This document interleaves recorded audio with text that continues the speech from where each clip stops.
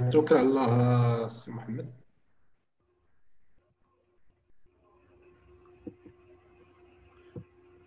السلام عليكم. آه، بسم الله الرحمن الرحيم والحمد لله رب العالمين. آه، مرحبا بكم جميعا في مركز رفق للبحث العلمي. اليوم حنايا كنشرفوا باللقاء ديال الأساتذة ديالنا الكرام الدكتور أنحاس عبد القدوس والدكتور عبد الرحيم دقون والمهندس آه، محمد الغزير مرحبا بكم في المحور الأول اللي يدور حول في التكوين الأول الاكاديميه رفق لتأهيل الباحثين. ألوغ بالنسبة للمركز ديالنا هو مركز رفق للبحث العلمي اللي كيطمح باش أنه يكون المركز الأول الابداعي في المغرب للبحث العلمي والرسالة الأساسية ديالو هو الإسهام في تكوين ريادات فاعلة وتنزيل مشاريع علمية مبدعة في مختلف التخصصات. الوغ الأهداف ديالنا كنهدفوا لثلاثه ديال النقاط. النقطة الأولى هو زرع روح الأمل عند الطلبه الانخراط في مجال البحث العلمي. النقطة الثانية تمكينهم من الكفاءات تساعدهم على الإبداع في مجال تخصصهم والنقطة الثالثة هي المساهمة في إعداد مشاريع وأبحاث علمية مبدعة وواقعية. ألوغ حنا في القيم ديالنا عندنا هاد القيم اللي كنعتمدوا عليها وهما أربعة. الإتقان والإبداع والتميز والاستمرارية والشعار ديالنا بالعلم نرتقي. لهذا جبنا النهار معنا ناس آه، أساتذة عندهم خبرة عندهم معرفة عندهم علم غزير ومعنا مشاركين اللي تبارك الله كلهم باحثين آه، من المستوى ديال آه، حتى الدكتوراه من الإجازة حتى الدكتوراه واليوم غيكون عندنا ثلاثة الأساتذة اللي ذكرنا عليهم الدكتور أنحاس عبد القدوس اللي يقدم لنا المحور الأول حول اقتصاد المعرفة أسس وقواعد. الأستاذ عبد الرحيم دقون لا يخدم قدم لنا المحور الثاني البعد الفلسفي لاقتصاد المعرفة. وفي النهاية يتشرف آه، رئيس المركز آه، سي محمد الغزيل بالمداخلة الثالثة لنشأة الاقتصاد المعرفة. آه، اول حاجة نبداو بها قبل كل شيء وخير ما نبدأ به هما آيات من القرآن الكريم.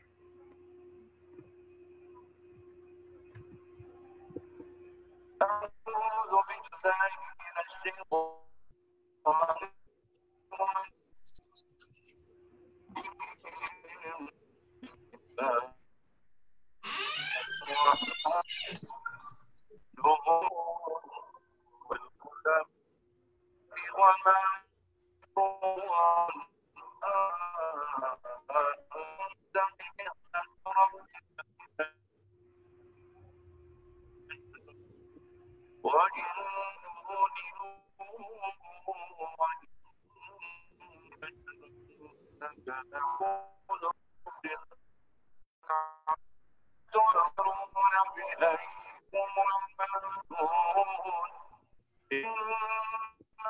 إن ربك هو بمن ضل عن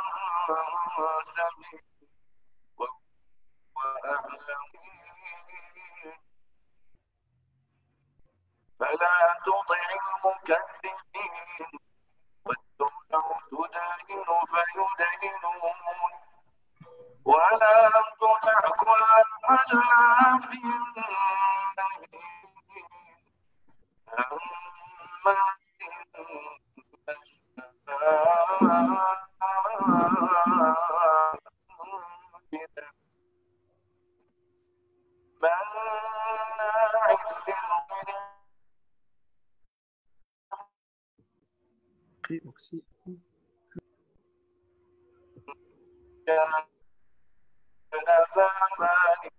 وبين عليها عليها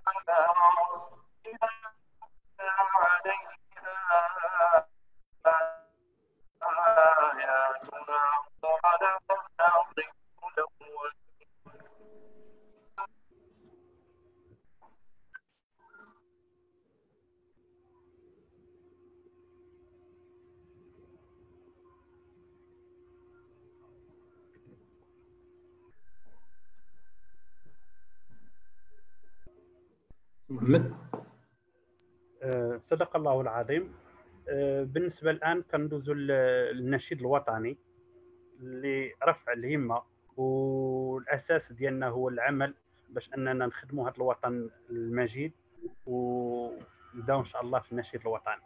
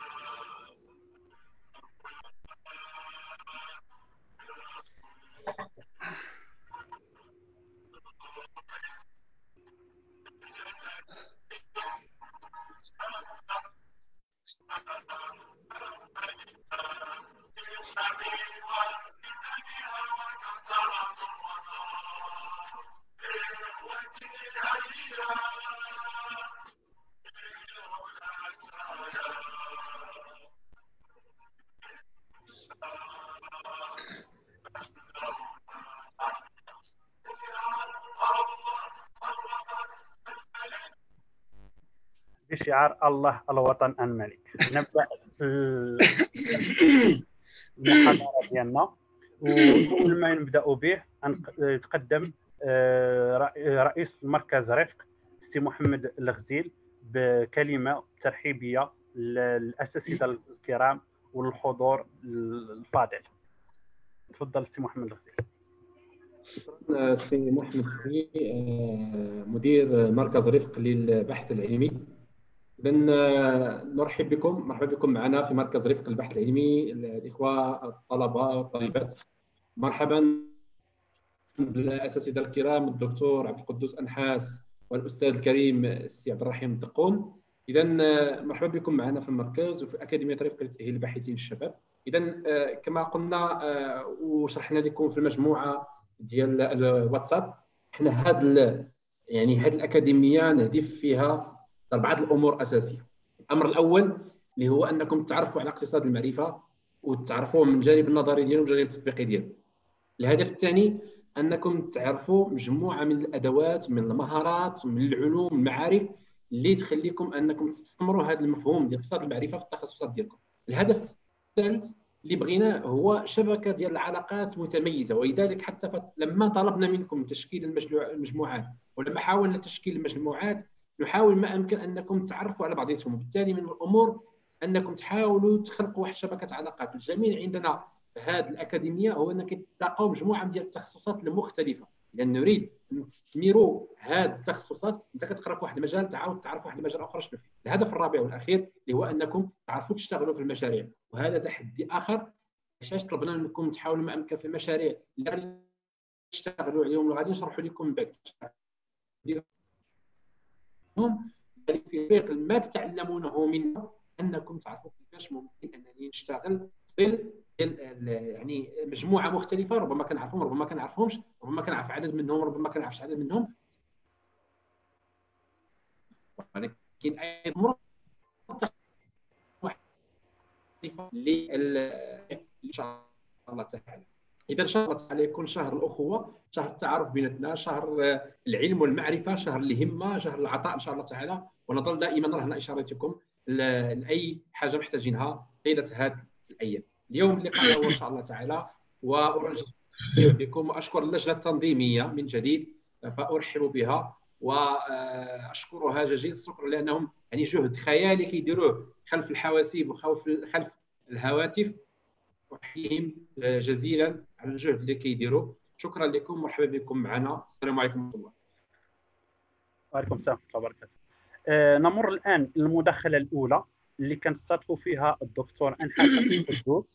آه التذكير آه والتعريف والدكتور أنحاس عبد القدوس هو دكتور في الدراسات القرآنية باحث في الدراسات في الفكر الإسلامي مهتم بمجال التعليم والفكر وله كتابان تيسير في مفاتيح التفسير والجدل الخلاف العلماني والإسلام. مرحبا بالدكتور أنحاس عبد القدوس وكان طلبوا منك أنك تبدأنا في المحور ديال أسس وقواعد ديال اقتصاد المعرفة. مرحبا. بسم الله الرحمن الرحيم. والصلاة والسلام على سيدنا محمد وعلى آله وصحبه ومن اهتدى هديه واستنى بسنته إلى الدين.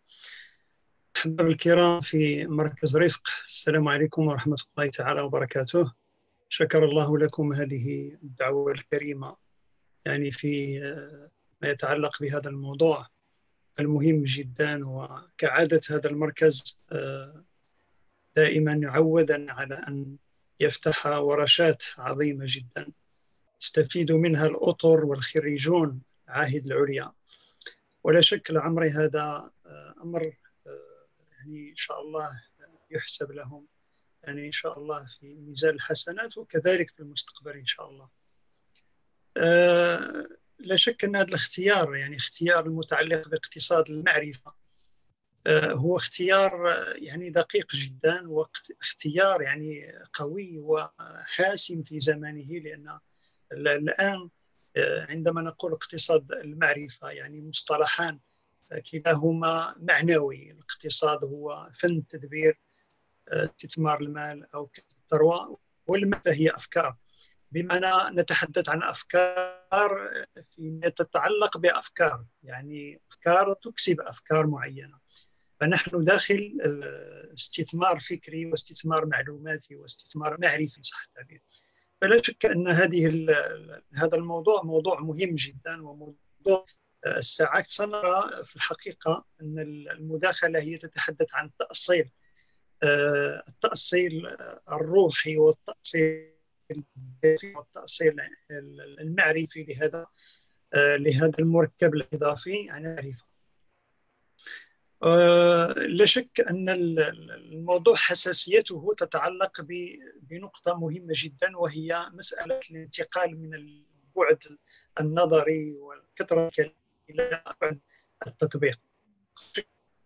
هذه هذه المسألة الحاسمة التي ربما من أجلها يعني وضع هذا المشروع المهم. وبالفعل فقد وضعتم أعتقد وقد وضعتم يعني اصبعكم على على الجراح. يعني والتنظيرات كثيرة والملتقيات كثيرة والكتب كذلك ولكن التطبيق قليل. التطبيق ليست مسألة ليس مسألة سهلة لأن الانتقال من النظر إلى التطبيق ليست ليس مسألة تقنية. يعني ننتقل من من من من كلام إلى فعل فقط لأننا نريد أن نفعل ذلك. النقلة هنا هي نقلة جذرية في حياة الإنسان. يعني انتقال كامل يعني تغير كامل في البعد الإنساني. هو الذي يحسم لنا هذه النقلة من البعد الكلامي النظري السفسطي إلى الحقيقة وإلى الفعل وإلى الممارسة. لذلك أعتقد أننا نحتاج إلى بعض النقاط الأساسية يعني في هذه المداخلة. وهذه المداخلة تركز على هذه النقطة بالضبط وهو لماذا وكيف ننتقل من من من من الجانب المعرفي إلى الجانب الكلامي أو الجانب الرقمي أو الجانب النظري إلى الجانب التطبيقي. وما الذي يساعدنا في ذلك؟ يعني ما هو ما هو الحافز وما هو الدافع الذي يجعل إطار من الأطر يعني يعيش في بلد من البلدان النامية آه، آه، تعيش يعني كباقي البلاد النامية يعني أزمة في التخطيط أزمة في التدبير أزمة في التطبيق. ما الذي يجعله ينتقل بروح مغامرة قوية إلى مجال التطبيق والممارسة أو ما يسمى بروح المشروع أو روح المشاريع؟ إذا الأمر أعمق بكثير من البعد التقني ولكن لا شك أن عندما نقول اقتصاد المعرفة آه، فالمركب الإضافي يتحدث عن ما هو مداول عن اقتصاد المعلومات أو فن تدبير المعلومات. يعني أو يعني اقتصاد الرقمي أو الافتراضي أو الإلكتروني أو الشبكي أو الاقتصاد اللاملموس يعني فيما يتعلق بإدارة المعرفة. وطبعا هذا مفهوم من جهة المداخل المتعددة فالبعض يحصره في المجال الفني التقني والبعض يعني يوسع الدائرة في المجال المعنوي والثقافي والتنظيمي وتطوير المعلومات وتنظيم الوثائق والخدمات الافتراضية المتعددة. طيب لكن أهم الأشياء يعني في في في اعتقادي يعني وأنا أبحث في هذا الموضوع وجدت بأن اقتصاد المعرفة يعني آه، كبإضافة يشمل مجال الفكرة مجال الفكرة أولا وهو فن إدارة المعرفة أي أفكار تدبر أفكار. يعني آه، اقتصاد المعرفة هو نعم علم قياسي لأنه ولد داخل مشاتل الصناعة يعني لم يولد داخل الأكاديميات والجامعات. فلذلك فهو في أصله علم تطبيقي لكن نحن باعتبار أننا لم ندرسه في في المشاتل وفي المعامل وفي مخابر الصناعة درسناه فقط يعني بالجانب النظري. فلذلك سنحاول أن يعني بنوع من التمرين يعني النظري أن نصل إلى هذه الحقيقة وهي حقيقة التطبيق. إذا فالمعرفة في الأصل هي رأس مال يعني ليست مجرد أداة أو وسيلة. عندما نقول المعرفة هنا ليست وسيلة ليست أداة بل هي الأصل يعني في الاقتصاد المعرفة الاقتصاد الرقمي. لأن رأس المال الذي يباع فيه ويشترى هو الذي يكسب الثروة يعني ليس هو الشيء إنما هو هو هو المعرفة يعني المعرفة يعني المؤسسات اليوم يعني أصبح رأس مالها يعني هو مختبرات البحث والتطوير. يعني أعمال التوزيع الإشهار المنافسة العلامات التجارية المواقع الإعلانات. يعني هذا اقتصاد جديد يعني معروف. فبالتالي انتقلنا من مبدأ تسويق الأشياء إلى تسويق الأفكار. يعني هناك علامة أن تمت أفكار تساوي ثروة. يعني هناك أفكار يمكن أن تغني صاحبها. وهذا طبعا يتأكد في الواقع. يعني هناك آه، كتب كثيرة في الساحة. لكن هناك كتب خاصة يعني تباع بثمن غالي جدا. وهي نادرة في السوق. لماذا؟ لأن فيها أفكار يعني آه، تحرك تحرك الإنسان وتحرك عقله وتؤدي إلى تطوير وجوده. فلذلك تجد ثمنها غالي. أحيانا تجد تكوين في مهارات معينة. تجد إنسان لديه القدرة على أن يكون فريق أو مجموعة في مهارات معينة من خلال أفكار ومعارف معينة. وهذا التكوين تجده حتى في السوق غالي جدا. بمعنى عليك أن تدفع مبلغ باهظ جدا لكي تحصل على مهارة معينة في أي تخصص من التخصصات. يعني تخصص يعني في الرياضيات في العلوم الإنسانية يعني في الطب يعني في طب الأسنان يعني تخصصات. علاش؟ لأن هنا المعلومة تصبح غالية جدا. إذا الآن أصبحنا نتحدث هنا عن اقتصاد جديد وأصبحنا نتحدث عن معرفة جديدة. لكن آه، باختصار يعني قبل ما نتحدث على هذا الموضوع لابد أن نؤصل. لأن يعني التأصيل من البعد الفكري والبعد التربوي والبعد الديني مهم جدا لأنه هو الذي يعطينا التصورات الأساسية التي نبني عليها يعني أهدافنا وأصولنا. المعرفه طبعا قرئت في اللسان العربي بأنها هي العلم. ما عرفوا مما عرفوا من الحق كما قال الله سبحانه وتعالى. أي علموا. وطبعا خص البعض العلم بالمعرفة والبعض خص هذا العلم من المعرفة. يعني جعل العلم جزء من المعرفة آه، باعتبار أن العلم يدخل فيه ما هو يعني علم ثابت يعني كمعرفة الله سبحانه وتعالى أو علم الله سبحانه وتعالى. وقد يدخل فيه ما هو يعني يتحصل يعني بعد جهل ومعلوم بأن الله سبحانه وتعالى لا يحل به الجهل. فلذلك المعرفة آه، هي قد تكون أحيانا علما وقد تكون غير علم. إذا المفهوم العلم والمعرفة قد يترادفان سواء في اللسان العربي في القرآن الكريم حتى في اللغات الأجنبية قد يترادفان يقصد بهما أحيانا الفهم الفقه وما شابه. لكن ما هو هذا العلم حقيقة وما هي هذه المعرفة؟ الثقافة القرآنية ما هي هذه المعرفة؟ ملي ندقوا أساس في المعرفة يعني نجدها هي عبارة عن أسماء هي معلومات. يعني ما نريده بالضبط في هذا الموضوع. معلومات. فلذلك الله سبحانه وتعالى عندما تحدث مع الملائكة قال وعلم آدم الأسماء كلها. طبعا هذه الأسماء ماذا يقصد بها؟ قال ابن كثير هذا مقام ذكر لله تعالى أو ذكر الله تعالى في شرف شرف آدم على الملائكة بما اختصه من علم أسماء كل شيء. لذلك أخبرهم بأنه يعلم ما لا يعلمون. قال سعيد بن جبير علمه أسماء كل شيء. وقال النسفي أراه الأجناس التي خلقها. وقال ابن عباس علمه أسماء كل شيء حتى القصعة والمغرفة. حتى القصعة يعني أدوات الطعام في المطبخ. ولا شك أن هذا علم ممتد إلى يوم القيامة. طبعا هذا كلام كلام المفسرين في النهاية هو كلام تقريبي يعني ليس كلام توقيفي. اقصد بأن هذا هو القرآن. إنما هو كلام يعني تقريبي. قد تبدو كلمة أسماء يعني أسماء الملعقة والقصعة والدبة بسيطة وعادية. لكن من حيث الحاجة الزمانية من حيث جدة الاختراع نتحدث عن قيمة حضارية. لانها وسيلة موجودة في المطبخ اليوم نعرفها. لكن في زمانها في وقتها أحدثت عند اختراعها تحولات جذرية في حياة الإنسان.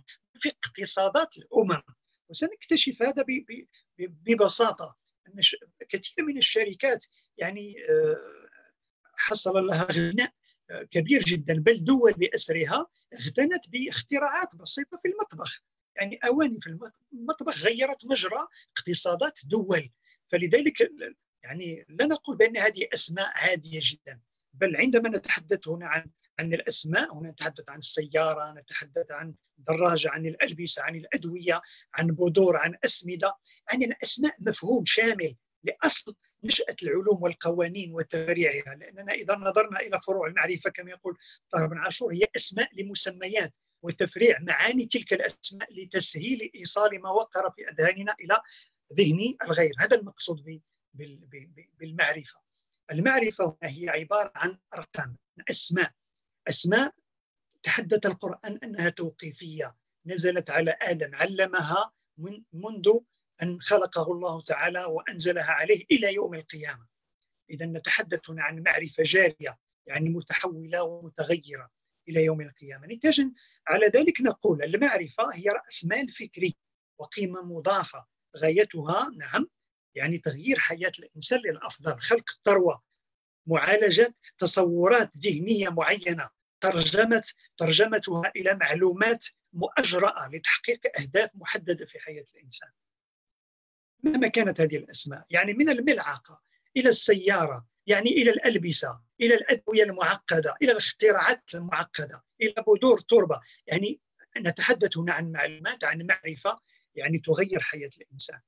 المعرفة بهذا الأساس عندما علمها الله تعالى آدم وهذا التعليم يعني لادم عليه السلام في مقابله عندما آه، قال للملائكة إني أعلم ما لا تعلمون بمعنى وضعهم عند حد العجز بمعنى أنتم لا تعرفون آه، ما يعرف هذا الإنسان بمعنى أنه في مستوى معين من الإدراك إني أعلم ما لا تعلمون. فلذلك فالمعرفة هنا تصبح قوة عندما تعطى للإنسان يعني تضفي عليه منطق السلطة والقوة. فيصبح قوة وجودية متحكمة في في في, في من حوله يعني في الطبيعة. فبالتالي آه، عندما نقرأ بعض الأدبيات الغربية مثلا عندما نقرأ كتاب تغريب العالم المفكر الفرنسي سيرج لاتوش يقول بأن الغرب نظر إلى الاختراعات العلمية التي وصل إليها كقوة نظر إلى الاكتشافات كقوة يعني لم يوظفها هذه القوة لم يوظفها طبعا توظيف إيجابي بل وظفها أحيانا توظيف سلبي.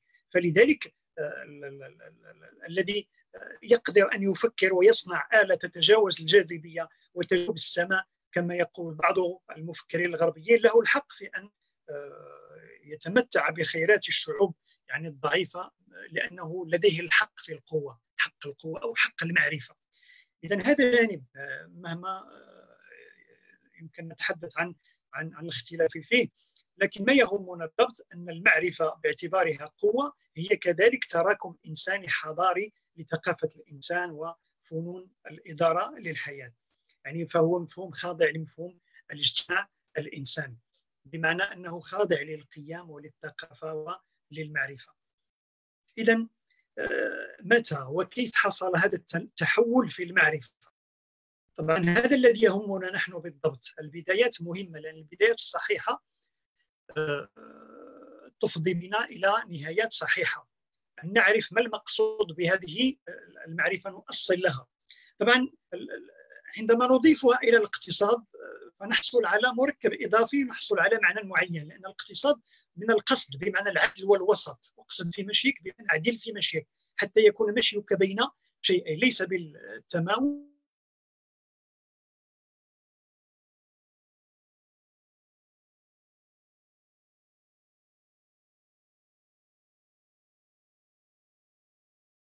يعني أسلوب ومنهج في إدارة الملكية والمال فن إدارة المال ابتغاء الربح وإنماء الثروة.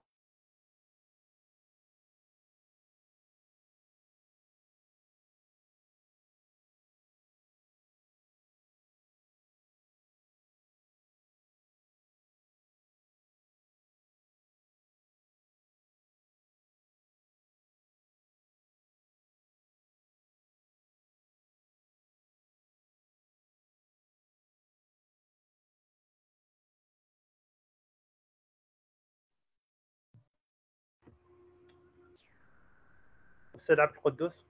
كانش كنسمعوك أستاذ عافاك إلا كان كدير تقاد الكونيكسيون ديالك.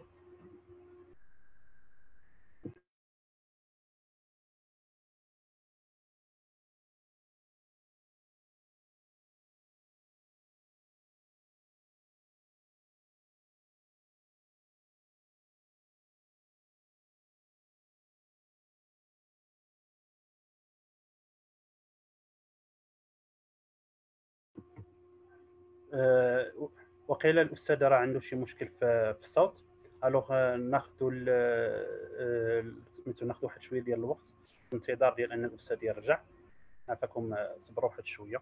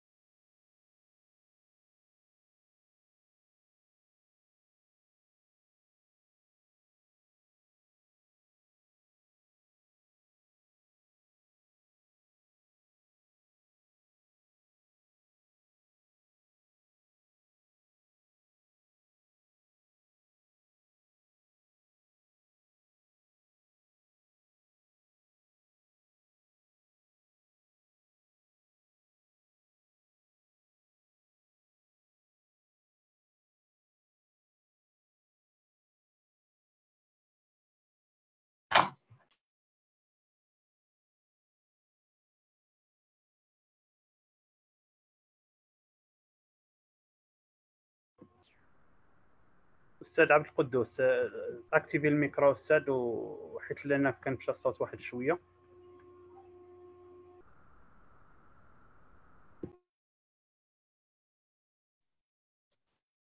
أمين؟ أمين؟ أستاذ كنسمعوك دابا.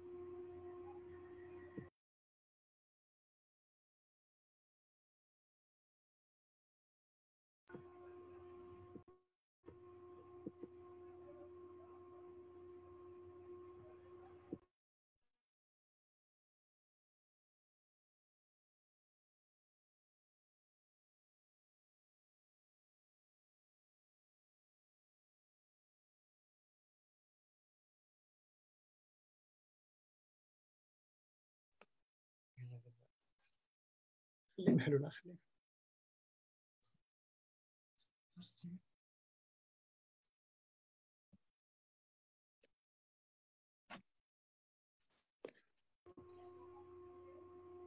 إذا نعيد الاتصال مرة أخرى.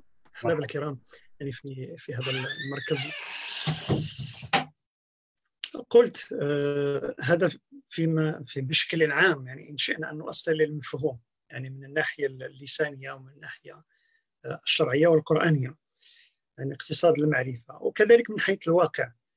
لكن ما يهمنا بالضبط؟ يعني هذا التأصيل آه، نريد أن نصل به إلى نقطة أساسية وهو يعني كيف آه، نحصل معرفة عاملة معرفة تطبيقية معرفة يعني تنتقل بنا إلى ممارسة المشروع هل نملك من المقومات يعني الروحية والتربوية والقيمية والدينية ما يؤهلنا إلى ذلك؟ إذا كنا نملك مرحبا إذا لم نكن يمكن أن نولي وجهنا شطر آه، اتجاهات أخرى.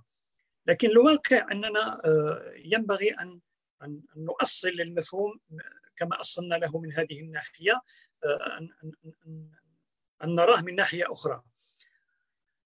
لا شك يمكن أن نجزم بأن أهم المعوقات التي تجعل المعرفة معرفة فاعلة في حياة الإنسان هو ذلك التوجس الذي ينتاب كثير من الناس بالذات يعني كثير من الشباب المقبلين على على على سوق العمل.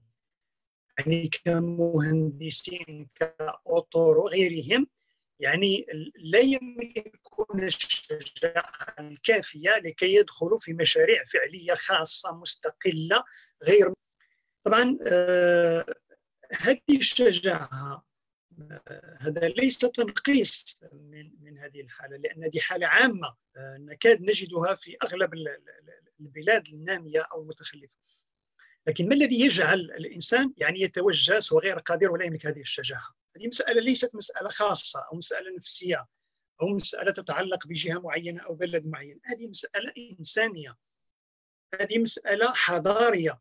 يعني لابد من نقلة معينة ينتقل بها الإنسان من وضع إلى وضع. فلذلك عندما نقول بأن المعرفة يعني أو اقتصاد المعرفة هو يعني القدرة على إدارة يعني ال ال يعني إدارة المعرفة أو إدارة المعلومات يعني في الواقع بشكل صحيح من أجل إنتاج الثروة. ما الذي يجعلنا قادرين على أن نستقل بأنفسنا وندخل في مغامرات يعني آه، اقتصادية ومغامرات يعني قوية جدا بعيد عن المتداول والمتعارف. هناك روح الروح القوية والوحيدة التي يمكن أن تدخلنا في ذلك هي روح الدين بكل بكل وضوح. يعني لا يمكن أن نراوغ. يعني كثير من الأفكار والفلسفات البشرية والإنسانية بالفعل ساهمت في تغيير بعض جوانب الإنسان الفنية والتقنية لكنها لم تغير البتة يعني تغييرا جذريا ولم تنقله من حالة إلى حالة كما نقل أو كما فعل. دليل ببساطة ببساطة كيف انتقلت من وضع إلى وضع ما الذي جعلها تنتقل بهذه القوة وبهذا الإشراق حتى بدأت تسمى بعصر الأنوار ومرحلة الأنوار وفلسفة الأنوار؟ يكاد الفلاسفة المنصفون الغربيون يؤكدون ويجمعون على أن روح الدين وبخاصة الإصلاح الديني في العهد البروتستانتي بالخصوص كانت سببا قويا جدا في تلك النقلة التي عرفتها يعني أوروبا من الجانب من جانب النظريات والكلام والجدل والصفصفات التي الصفصفة التي عرفتها أوروبا خلال مدة زمنية معينة. الدين والروح الدينية وبخاصة الإصلاح الديني الانتقال يعني من روح الزهد والجدل الكلامي الجدل الكلامي يعني من السابق يعني في في, في الإنسان يعني من الإنسان هل له إرادة الإنسان مخير مسير ام كذا. يعني لما جاء الإصلاح مع لوتر ومع يعني ترك هذا النقاش وبدأ يتحدث بلغة أخرى لغة أخرى. أشار إليها ماكس فيبر يعني في في كتابه المشهور, المشهور بروتستانتية وروح الرأسمالية. أشار إلى هذه النقطة الحساسة جدا. النظام الرأسمالي برمته مدين للروح الدينية التي زرعت في الإنسان الكسول خاصة الإنسان الكاثوليكي في الغرب. راح زرعت في روح الجدة والصرامة فظهرت منظمات وجمعيات دينية اجتماعية تعتمد أساسا على الصرامة والنظام. حاولت أن تتجاوز المعرفة المتعارف عليها يعني المتعارف عليه بسؤال ماذا؟ يعني بالسؤال الجديد وهو كيف نعرف؟ لماذا نعرف؟ من خلال إتقان فن التطبيق وهذا سنجد حتى أسماء الجماعات الدينية التي ظهرت في الغرب بعد الإصلاح الديني خاصة في إنجلترا وفي هولندا وفي أمريكا. كلها لها أسماء توحي بالنزعة التنموية التطبيقية. سنجد يعني كنائس تسمى الكنائس الميثودية يعني الكنائس التطبيقية. يعني هكا الاسم ديالها الديني هو الكنائس التطبيقية. يعني هناك آه، يعني رغبة عارمة جدا في أن ينتقل هذا الإنسان من البعد الوعظي والكلامي إلى البعد التطبيقي. مثلا يؤكد فيبر آه، بأن عددا كبيرا من مناطق الريخ الألماني الغنية آه، تقدمت كثيرا جدا لأنها أخذت بهذا الإصلاح بمواعظ لوثر كين ما يقول يعني استبدال عادات حياتية متراخية غير واقعية بأخرى تخترق كل ميادين الحياة. وتتميز بالصرامة والشدة الحده والجدية والتنظيم اليومي الدقيق. ومن ثم سميت فرقة من المصلحين الدينيين بالميثوديين كما يقول أي أصحاب المناهج العملية الصارمة. والصرامة هنا تعني القدرة على التحكم في النفس وضبط الرغبات على ميزان الربح التجاري. ويأتي الدين هنا ليؤدي دور المنشط والمحفز والموقد للإرادات والإيمان. فلذلك آه، سنجد بأن هذه الجماعات الإصلاحية قد حوربت في أوروبا لأنها ذات نزعة تنمويه اقتصادية تغييرية. انتقلت أو استثمرت الدين يعني في تغيير الحياة. لذلك آه، سنجدها تضطهد وتتشتت في الأرض. حتى أن بعض الفلاسفة مثل جوتا يعتبر أن الشتات الكالفيني يعني آه، القساوسه الكالفينيين الذين تشتتوا في الأرض يصفهم بمنجم الاقتصاد الرأسمالي باعتبار أنها شخصيات عملية تثير روح المشاريع وتحدث أيضا مونتسكيو في موسوعته روح الشرائع أن البروتستانت الإنجليز هم أكثر الشعوب الأوروبية قدرة على الانتفاع من أشيائهم الثلاث أو الثلاثة الكبرى الدين، التجارة، الحرية. اذا النظام الرأسمالي آه، سيجد آه، سيجد روحه في الدين بمعنى إذا أردنا أن نفهم النظام الرأسمالي لا ننظر إلى الظاهر إلى المال إلى الاستثمارات. ينبغي أن ننظر إلى القواعد التي بني عليها والتي جعلته إلى حد ما يستمر إلى زمننا هذا بصورة من الصور. لم ينهر.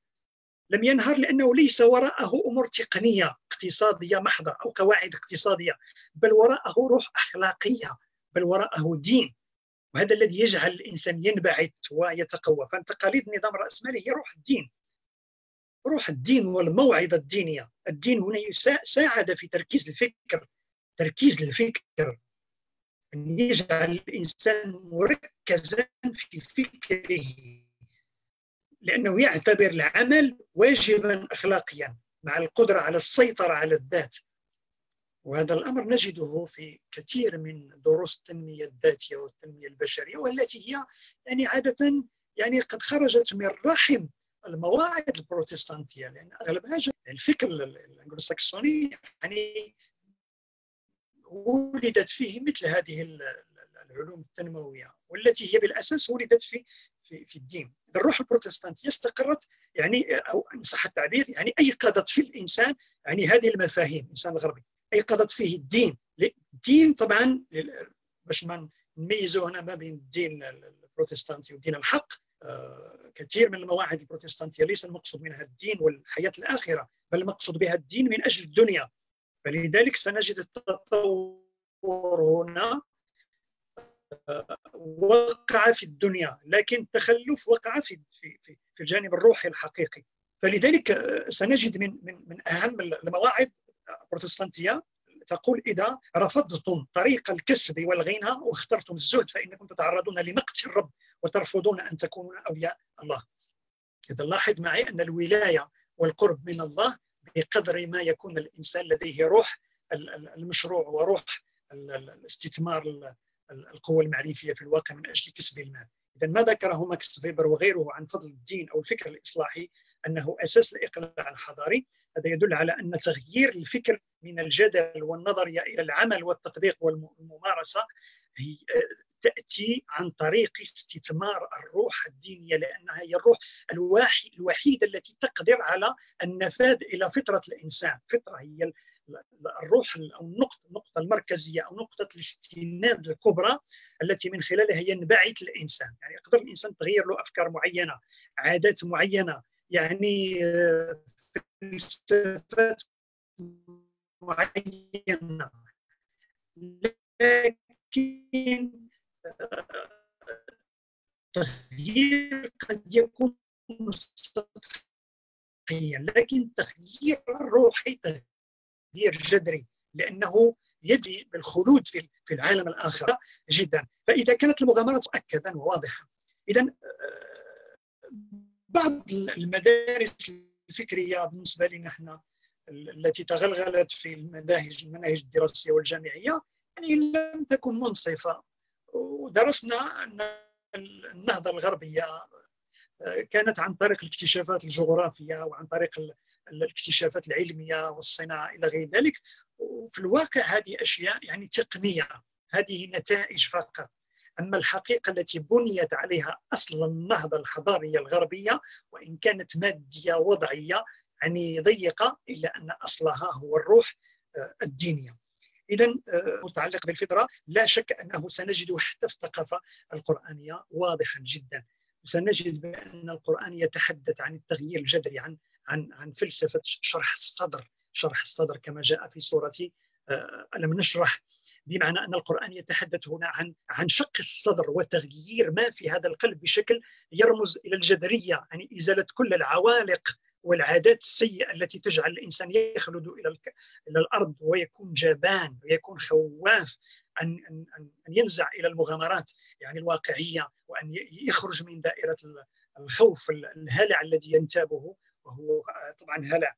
يعني لا قيمة له ولا حقيقة له. سنجد بأن القرآن يتحدث كذلك عن عن درجة خروج الإنسان من الموت إلى الحياة بمعنى أن الإنسان قد يعيش في في وظيفة أو في مستنقع عملي معين ويعتقد بأنه يكسب وأنه يعيش بينما هو في الواقع في حالة موت يعني تاريخي لأنه لم يعرف حقيقة وجوده بعد لم يعرف ماذا يفعل فلذلك القرآن يسميه حياة حقيقية أو من كان ميتا فأحييناه.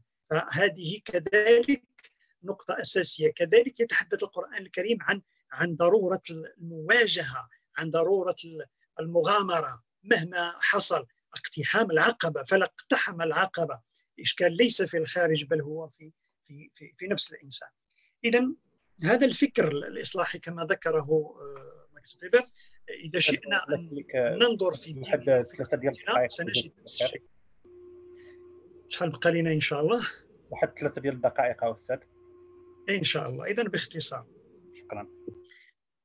آه لا شك أن هذا الفكر الإصلاحي يعني استنفر كل المفاهيم الجذرية في قاموس حياة الإنسان. وسمى هؤلاء الرأسماليين المضاربين تجار أرباب المقاولات والضاربين في الأرض سماهم بالمجاهدين وبأولياء الله. عندما نتجه إلى نتجه إلى حقيقة الإسلام سنجد بأن الإسلام سيشبه التجار بالمجاهدين. الله عز وجل يعني في سورة في سورة المزمل يقول وآخرون يضربون في الأرض يبتغون من فضل الله وآخرون يقاتلون في سبيل الله. طبعا قدم التجارة على الجهاد الذي هو سنام الدين. قال بعض العلماء التجارة أعظم من الجهاد. علاش؟ واش فقط لأن فيها كسب المال. مع أن الجهاد ما هو وما أدراك ما الجهاد. لأن التجارة روح الحرية يعني حياة الحرية. يجد نفسه حرا في حياته. وهذه روح حقيقة التوحيد أن الإنسان يكون حرا. يعني استقلال الشخصية. قال النبي صلى الله عليه وسلم التاجر الأمين يوم القيامة مع الأنبياء والصديقين والشهداء. أي أن الكسب الطيب آه، هو ومن جهده ومن عمله ومن ابتكاره ومن يعني اجتهاده ومن أفكاره يوازي جهاد المجاهد في ساحة المعركة. حتى أن سيدنا عمر قال لأن أموت بين شعبتي رحلي. يعني وأنا مسافر أضرب في الأرض وأسافر في الأرض آه، أبتغي من فضل الله أحب إلي من أن أقاتل يعني مجاهدا في سبيل الله. تخيل معي الصحابة كيف كانوا كيف فهموا هذا المفهوم. اذا آه، هذه هذه الحقيقة الوجوديه في كسب المال. لا شك أن لها لا تتعلق بمجرد المال فقط بل هي تعطي للإنسان استقلال الشخصية وعزة النفس أي عدم التبعيه قوة الشخصيه فالقرآن الكريم تحدث عن تحدث يعني عن عن الإنسان العدل. والإنسان الكل ضرب الله مثلا رجلين أحدهما أبكم لا لا يأتي بخير. هل يستوي هو هو من يأمر بالعدل وهو على صراط مستقيم؟ إنسان الكل إنسان الحر ذو القوة ذو المغامرة القدرة على التدافع على فتح الآفاق على المواجهة على الاستقامه على الصدق على المحافظة على الأمانة في التعامل. يعني هذا الإنسان العدل قوي جدا. عندما يدخل إلى السوق بفكره فيحدث وجوده بالقوة. لا تستطيع يعني رقم صعب في المعادلة. لا يستطيع الإنسان يعني أن يزيحه بسهولة. مفهوم الاستقلالية في إحداث المشروع. ضرب الله مثلا رجلا فيه شركاء متشاكسون ورجلا سلما لرجل هل يستويان رجل حر يملك أفكاره يملك قوة فكره يملك سلطته المعرفية. أينما توجه يمكنه أن يحدث التغيير لا ليس تابعا ليس موظفا حكوميا تل وارتحل راه جالس في الدار في الخدمة يعني في, الشارع في أي مكان في الع... بأتفه الأشياء يمكن أن يكسب يعني رزق حياة معينة يعني السنين هو يكسبها في رمشة عين. لماذا؟ لأن لديه أفكار قوية ولديه روح المغامرة وروح الاستقلالية ليس تابعا فالنجاح مرتبط باستقلالية القرار في الدنيا والآخرة. ثم فرق هنا بين الإنسان الحر والإنسان آه، العبد. اذا هذه بشكل عام يعني صح التعبير يعني هناك كثير من الأفكار التي يعني تتصارع في ذهني الآن. لكن ما يهم بالضبط وهو أننا عندما نتحدث عن اقتصاد المعرفة من حيث التأصيل ومن حيث الرؤية الدينية والرؤية الروحية والتربوية لا شك أننا نحتاج إلى عنصر محفز جدا لكي ينقلنا من مرحلة النظر إلى مرحلة التطبيق. أن ينقلنا من مرحلة الجبن في الوظيفة إلى مرحلة الشجاعة في المشروع المستقل أن نكون قادرين على أن نكون مقاولين أحرار أن نكون مستقلين في كسب رزقنا لأن الأمة التي فيها شباب وفيها جيل من الناس القادرين على كسب رزقهم احرار غير تابعين فلا شك أنهم سينتجون أمة قوية قادرة على أن تجوب الآفاق أن تضرب في الأرض أن تكون ذخرا لبلدها ولوطنها ولأمتها. يعني عندما تحتاج إلى هذا الرأسمال البشري المعرفي القوي ستجده حاضرا دائما يعني في حياتنا. لكن أؤكد كذلك في النهاية على أن الروح الفطرية التي غرسها الله تعالى في قلوبنا يعني هي الوحيدة التي يمكن أن تحركنا أن تحركنا نحو هذا النجاح القوي في استثمار المعرفة في حياتنا. آه، أتمنى من الله عز وجل أن لا أكون أطلت عليكم وأن لا أكون قد خرجت عن الموضوع النقاش. أستسمحكم عذرا. أستغفر الله لي ولكم. السلام عليكم ورحمة الله تعالى وبركاته. شكرا جزيلا الدكتور عبد القدوس على المداخلة ديالك. بالنسبة للدكتور عبد القدوس قدم في المداخلة ديالو طرق المعرفة انطلق من بداية من نشأة سيدنا آدم عليه السلام ومرورا بالعصور الوسطى إلى العصر ديالنا الحاضر واعتمد بأن المعرفة تتطلب القوة والشجاعة باش أن الإنسان يخوض في المعرفة. ومن المراكز أو من الأسباب القوية اللي دفعت بالمعرفة إلى الأمام هو الدين. سواء آه، الديانة المسيحية أو خاصة الدين الإسلامي. وبأن القوة وبأن القوة ديال الشباب والعزيمة ديالهم والمعرفة ديالهم هي اللي غتقود لواحد المستقبل اللي هو أفضل إن شاء الله. إذا كنشكروك أستاذ الدكتور عبد القدوس على المداخلة ديالكم. شكرا بزاف. وحاليا ندوز للمداخلة الثانية التي تتطرق إلى البعد الفلسفي لاقتصاد المعرفة. سيقدمها الأستاذ عبد الرحيم دقون. الاستاذ عبد الرحيم دقون هو باحث في ماستر الدكتوراه في فلسفة السياسة المعاصرة كاتب ومترجم ماستر آه، فلسفة السياسة والدين والتواصل بجامعة الحسن الثاني. مدرس فلسفة بالتعليم الثانوي التأهيلي عضو مؤسس وكاتب عام للجمعية المغربية لرواد التنمية بالدار البيضاء. فليتفضل الأستاذ عبد الرحيم دقون مشكورا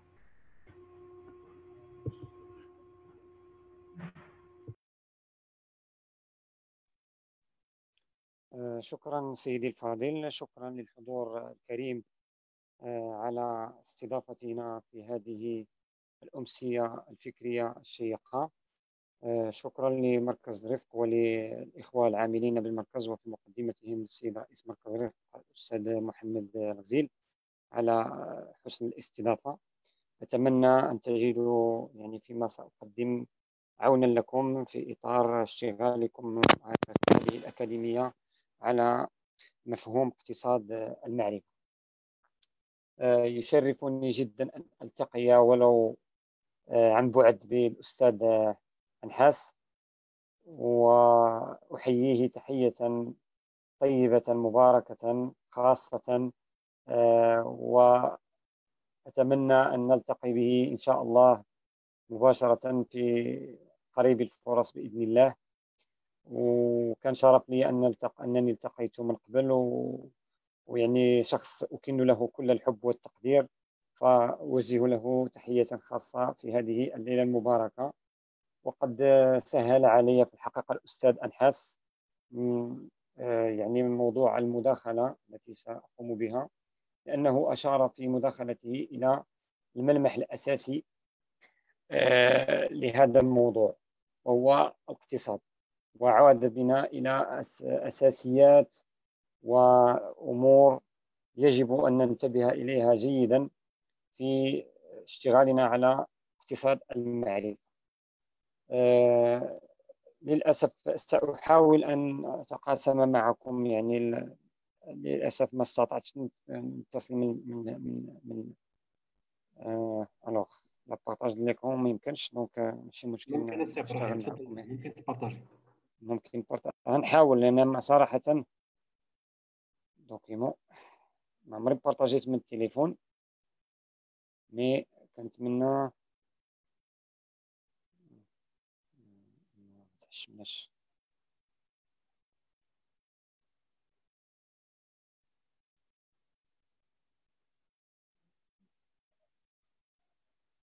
غير نلقاه دابا؟ يعني أنا من التليفون راكم عارفين هذا الشيء وحنا كنتكلموا على اقتصاد المعرفة كنلقاو بأن راه كاينة صعوبات ليست بالهينة ونتمنى من السادة المهندسين الافاضل اللي غادي يشتغلوا معنا إن شاء الله إنهم يفيدونا في هذا الجانب.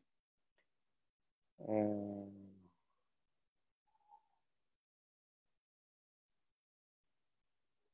إخوانا أنا عاد téléchargيتو في, في, في التليفون donc ما عرفتش فين منين غادي نجبدو هذا ال document هذا من التليفون. إلا كان باش تفيد الناس محمد تفضل. على حسب التليفون ديالك غادي تشوف le dossier ديال فاش كي télécharger اللي تكون فيه ما سمعتكش مزيان؟ من dossier مشيت ل... مشيت لل download زعما ال téléchargement وأنا téléchargيتو ولكن هو ما ما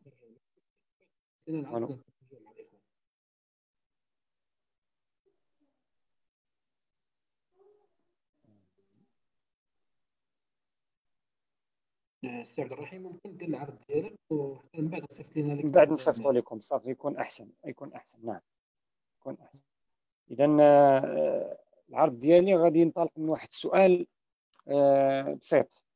هو ما العلاقة بين مفهومين؟ يعني على قدر كبير من الشساعة ومن العمق وهما مفهوم الاقتصاد والمعرفة. ما الذي يجمع بين هذين المفهومين حتى نقول بأننا نتحدث عن اقتصاد المعرفة. ويؤسفني أن أخبركم بأنها فعلا علاقة ملتبسة ومتلونة وهذا المفهوم اللي هو اقتصاد المعرفة ايكونومي دو سافوار مفهوم متعدد الدلالات مفهوم ملغز واحيانا يمكن أن نعتبره مفهوم مبتصر أو يعني فيه قدر كبير من من التبسيط والاختزال. بعض الملاحظات التي يمكن أن نشير إليها في هذا الصدد أننا نتحدث عن الاقتصاد باعتباره كان دائما مبنيا على المعرفة والمداخلة التي أشار إليها أو التي تطرق إليها الأستاذ أنحاس تؤكد هذا أن الاقتصاد منذ القديم كان ينبني على أسس معرفية بدرجات متفاوتة نعم بدرجات يعني مختلفة مرتبطة بالتطور التاريخي الذي عرفته البشرية وعرفته المعرفة البشرية. وعرفه أيضا الاقتصاد الإنساني ولكن على على العموم كانت دائما هناك علاقة بين المعرفة. فالاقتصاد هو نوع من التدبير للموارد التي هي متاحة للإنسان وهذا التدبير يعتمد أساسا على نوع من المعرفة. لا يمكن أن يكون هناك تدبير من دون معرفة. والمعرفة من جهة أخرى هي أيضا في أعم مدلولاتها تحيل على هدف أو غاية منها وهي تحسين الحياة البشرية على الأقل في مستوى يعني إلى حد ما العملي. تحسين الحياة البشرية وبالتالي هي نوع من الاقتصاد.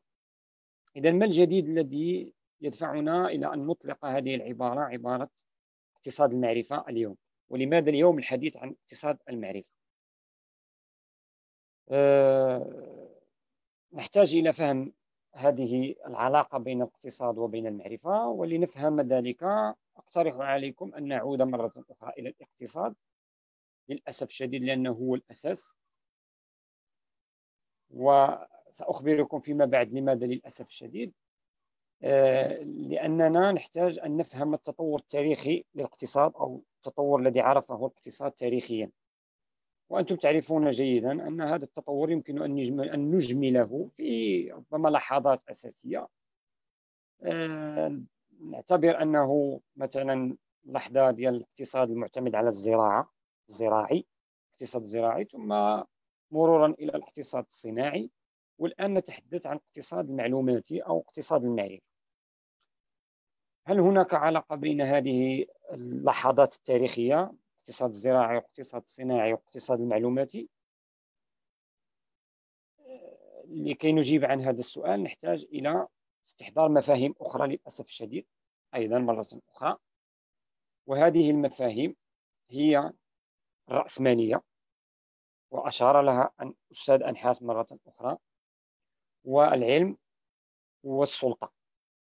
وهذه مفاهيم هي أيضا في جانب منها في جانب كبير عندها حمولة تاريخية وترتبط بتطورات تاريخية عرفتها البشرية وعرفها الاجتماع الإنساني. على مستوى الحديث عن الرأسمالية تعتبر الرأسمالية نسق اقتصادي قائم على الرأسمال وبالضبط على المال وهذا النسق الاقتصادي تطور تاريخيا من المرحلة الزراعية إلى المرحلة الصناعية بالأساس وهو اليوم يتطور ويطور من ذاته للمرور إلى المرحلة الموالية وهي مرحلة الاقتصاد المعلوماتي أو اقتصاد المعرفة العلم أيضا عنده علاقة بالموضوع طبعا لأننا نتحدث هنا عن اقتصاد المعرفة والمعرفة أو العلم هو يعني في جانب منه أو هو جزء من المعرفة. إذا العلم باعتباره نسق معرفي ونظرة للعالم تقوم على أساس معين. ثم السلطة باعتبارها طرفا أساسيا داعما منظما أحيانا طالبا وأحيانا منتجا للثروة وبالتالي مساهم في الاقتصاد و ومن جهة أخرى أيضا منظم وداعم للعلم وللمعرفة.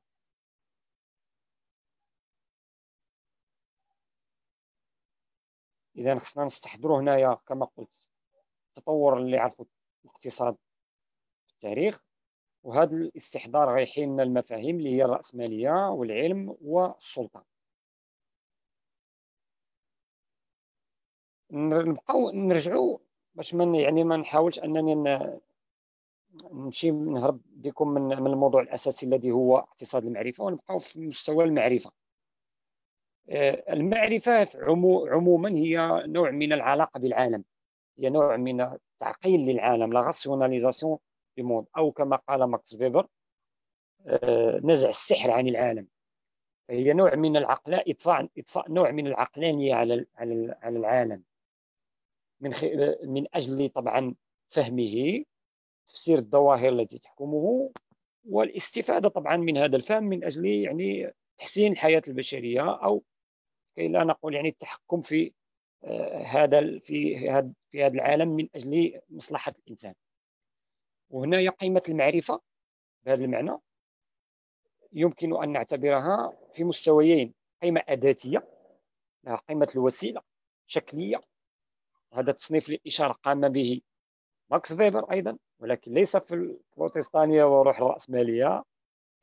آه، أو آه، بل في الكتاب الآخر اللي هو الاقتصاد والمجتمع. فالمعرفة أداتية أو قيمية أو جوهرية. عندها بعد غائي عندها بعد أداتي أو بعد وسائلي أما فيما يخص الاقتصاد فطبيعته أنه يعبر عن استجابة للحاجيات ووجود مجموعة من من من يعني من من المكونات اللي هي تدخل في إطار الوجود المنتج والمستهلك والبضاعة أو المنتج الموجه لهذا المستهلك إلى غير ذلك. ودور الاقتصاد هنا هو تدبير الندرة أن يدبر الندرة. لا مجال للحديث عن الاقتصاد في الاجتماع البشري إلا أو إلا نظرا لوجود شيء نسميه الندرة. بمعنى نحن في حاجة إلى تدبير موارد تتميز بطابع أساسي وهو أنها قابلة للإتلاف قابلة للاستهلاك قابلة للانتهاء. وبالتالي اقتصاد المعرفة إلى بغينا نربط بين هذه العناصر كلها هو نوع من تدبير للمعرفة أو بالأحرى تدبير لندرة المعرفة.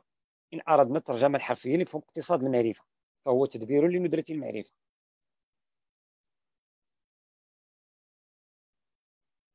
ولكن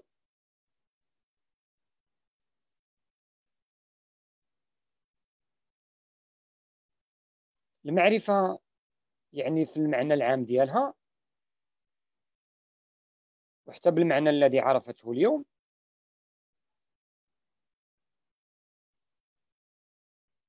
آه، تتميز بمجموعة من الخصائص. أنها متحركة. أنها أصبحت أساسية في المجتمع الحالي. مجتمع ما بعد الصناعي مجتمع الثورات العلمية.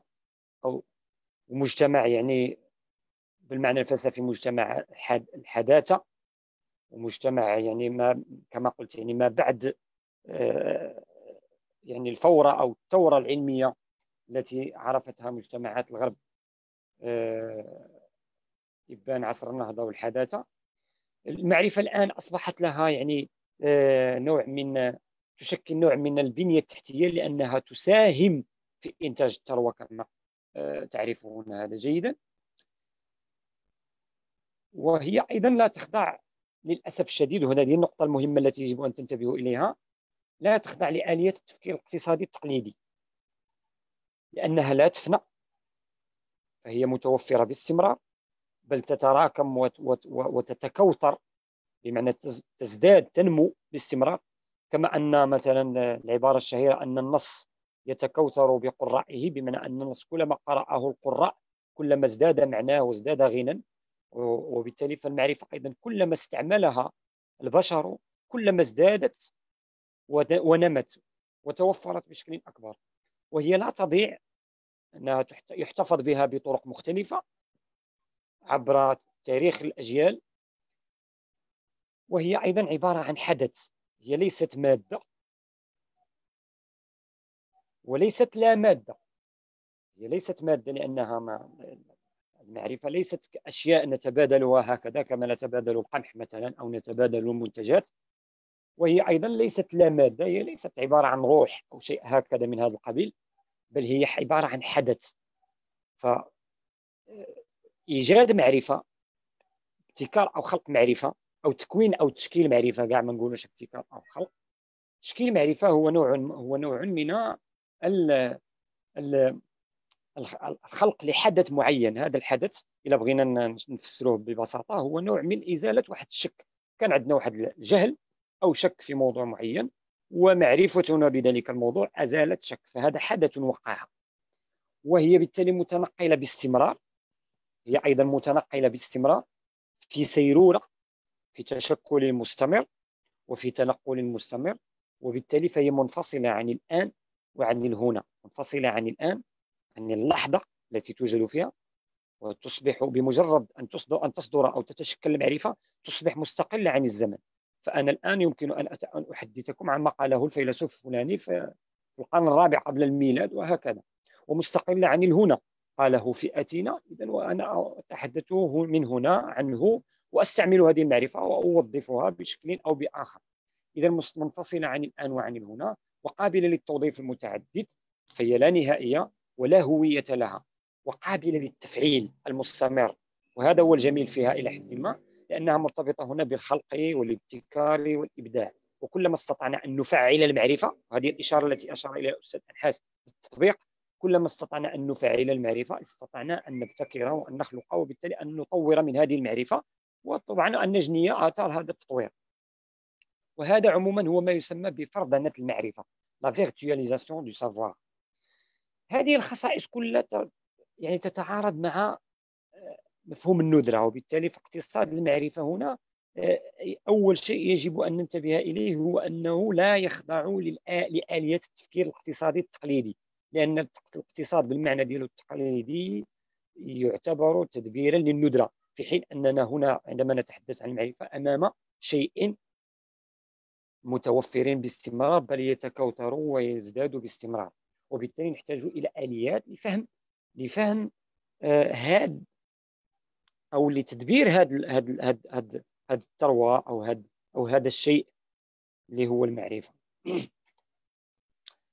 آه لتدبير أو لتدبير هذه المعرفة يجب أن ننتبه إلى ثلاثة أقطاب أساسية وهي قطب المعرفة اللي هو سيصبح هنا المنتج أو المنتوج مع العلم أنه في نفس الوقت أنتم عارفين هذه المسألة أنه ممكن يكون مساهم في الإنتاج. وبالتالي كنتكلموا على ال économie de savoir ال économie fondée أو فوندي سور لو سافوار مبنية على على المعرفة أو الاقتصاد المبني على المعرفة. أيضا كنتكلموا على التمويل. هنا نرجعوا للراسماليه اللي شرط لها في البداية. أن الاقتصاد بالمعنى ديالو إلى حد ما الحديث في المراحل التاريخية الحديثة كنتكلموا أساسا على وجود رأس المال وجود التمويل. ثم نتكلموا أيضا على آه، وجود جانب آخر من المعرفة اللي هو التكنولوجيا واللي هو اللي كتأسس عليه أو يتأسس عليه الاقتصاد المعاصر. l'économie fondée sur le savoir ولا sur les technologies فيما يخص التمويل. غنتكلموا في اقتصاد المعرفة على رأسملة المعرفة. le capital savoir كنتكلموا هنا على أن المعرفة تصبح رأس مال. ونتحدث هنا عن العملة الافتراضية وعن العملة الرمز le capital symbole وعن الاستثمار في المعرفة l'investissement l'investissement intellectuel الاستثمار في المعرفة استثمار في, في يعني أن أن المستثمر صاحب رأس المال يستثمر في المعرفة من أجل إنتاج المعرفة.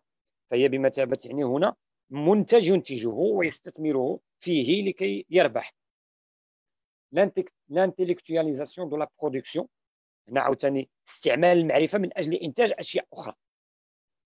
اذا هنا اقتصاد المعرفة الجانب ديالو الاقتصادي التمويلي يشير إلى توجه عالمي بل معولم يركز على الذكاء وعلى المعرفة في التصميم والإنتاج والتسويق وتنظيم علاقات التواصل في العمل وحتى في مستوى إنتاج البضائع وتوزيعها وإيصالها الخدمات المقدمة من طرف مؤسسة أو شركة أو حتى ربما دولة.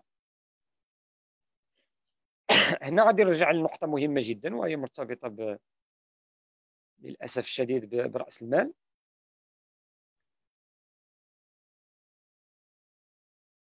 وهي هنا علاقة هنا السلطة بهذا الموضوع هذا. السلطة تحيل إلى النظام إلى الاستقرار. يعني السلطة الهدف ديالها هو تسيير أو تدبير الشأن العام تدبير الحياة الاجتماعية أو الحياة المشتركة أو الحياة العامة بين أفراد الجماعة البشرية. ما يقلق السلطة في هذا التدبير هو مشاكل التكيف أو ما يسمى بالتغير الاجتماعي. بمعنى تلك الحركات تلك التوترات التي تنتج عن تدبير هذه العلاقات طبعا المعقدة على مستوى الجماعة البشرية. ما تسعى إليه السلطة باستمرار هو إدارة وتدبير التغيير والحفاظ على الوضع. طبعا هناك فئات معينة تحتكر السلطة وبالتالي يهمها جيدا أن يبقى الوضع على ما هو عليه وبالتالي نحن في حاجة إلى أن نضمن آليات تمكننا من آه، يعني الحفاظ على الوضع الذي يعرفه أو التنظيم الذي يعرفه المجتمع. نعطيكم مثال باش تفهموا المسألة قديما في المجتمع الزراعي كان التغيير آه، كان المجتمع يعني يقوم أساسا على آه، مسألة الشرف لونور وبالتالي كان هم هم السلطة هو يعني أن في الحفاظ على التغيير الاجتماعي كانت تعتمد على على هذا هذا المبدأ الأساسي اللي هو الشرف. ثم بعد ذلك من بعد يعني التطور اللي عرفته المجتمعات البشرية وخاصة في المستوى السياسي من خلال نشوء العقد الدولة دولة العقد الاجتماعي إلى غير ذلك. ولينا كنتكلموا على الاختيار مبدأ الاختيار. وأن من سيحكمنا سنختاره.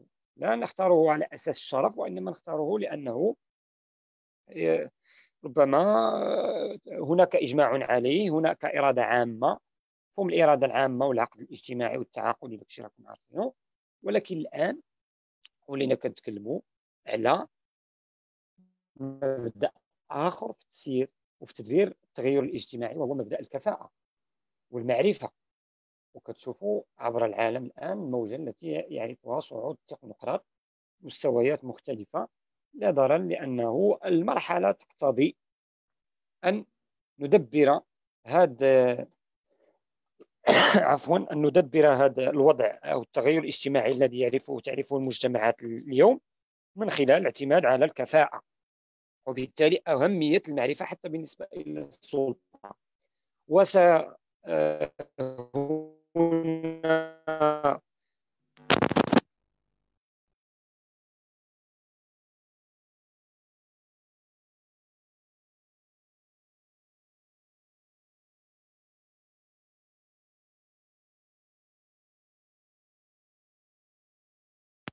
رأس المال ومكتسبات السلطة من جهة أخرى.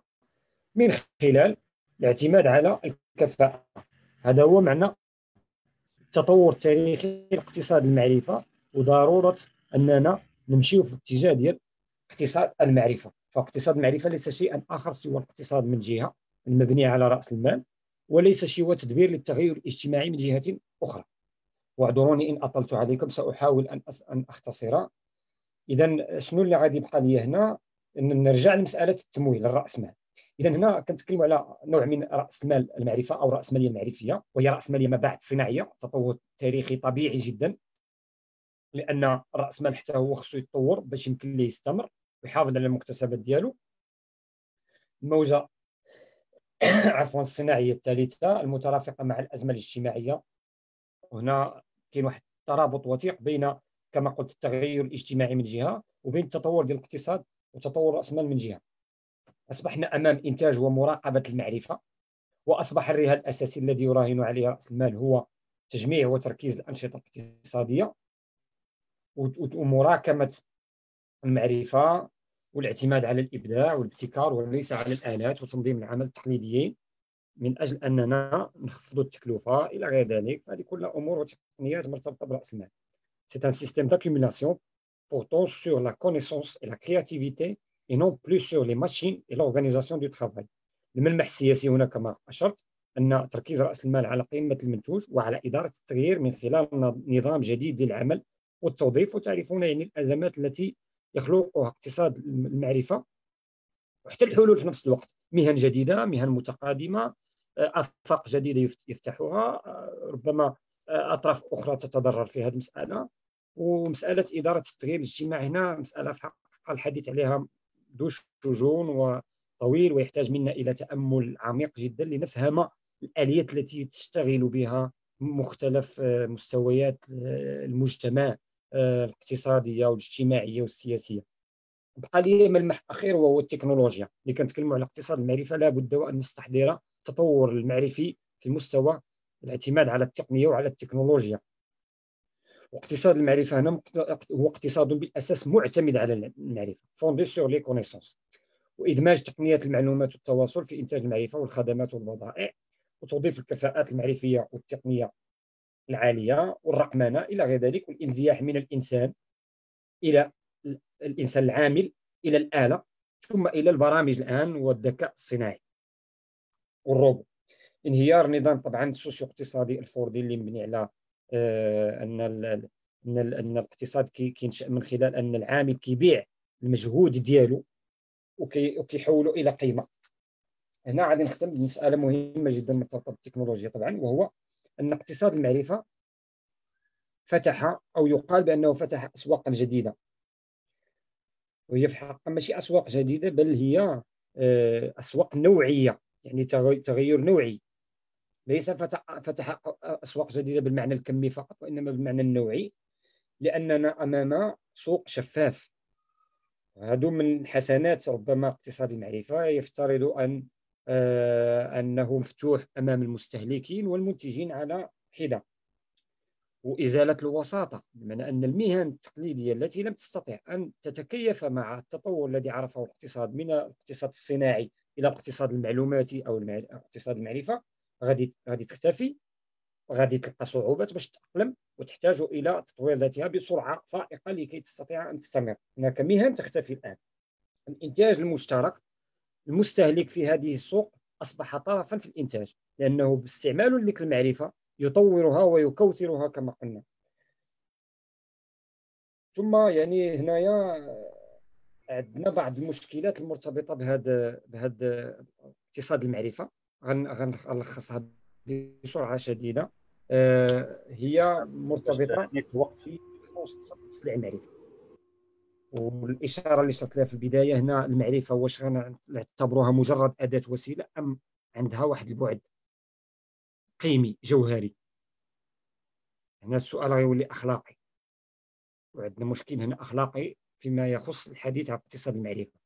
هل يحق لنا مثلا أن ندعي بأننا نمتلك المعرفة وبالتالي إذا أردت أن أستفيد منها أنا يجب أن أؤدي مسبقا حقوق الملكية براءة الاختراع واللي اليوم أصبحت يعني آه إلى حد ما سلاحا يستعمل يعني من أجل في صالح الاقتصاد طبعا ولكنه ضد المعرفة ولا يخدم المعرفة.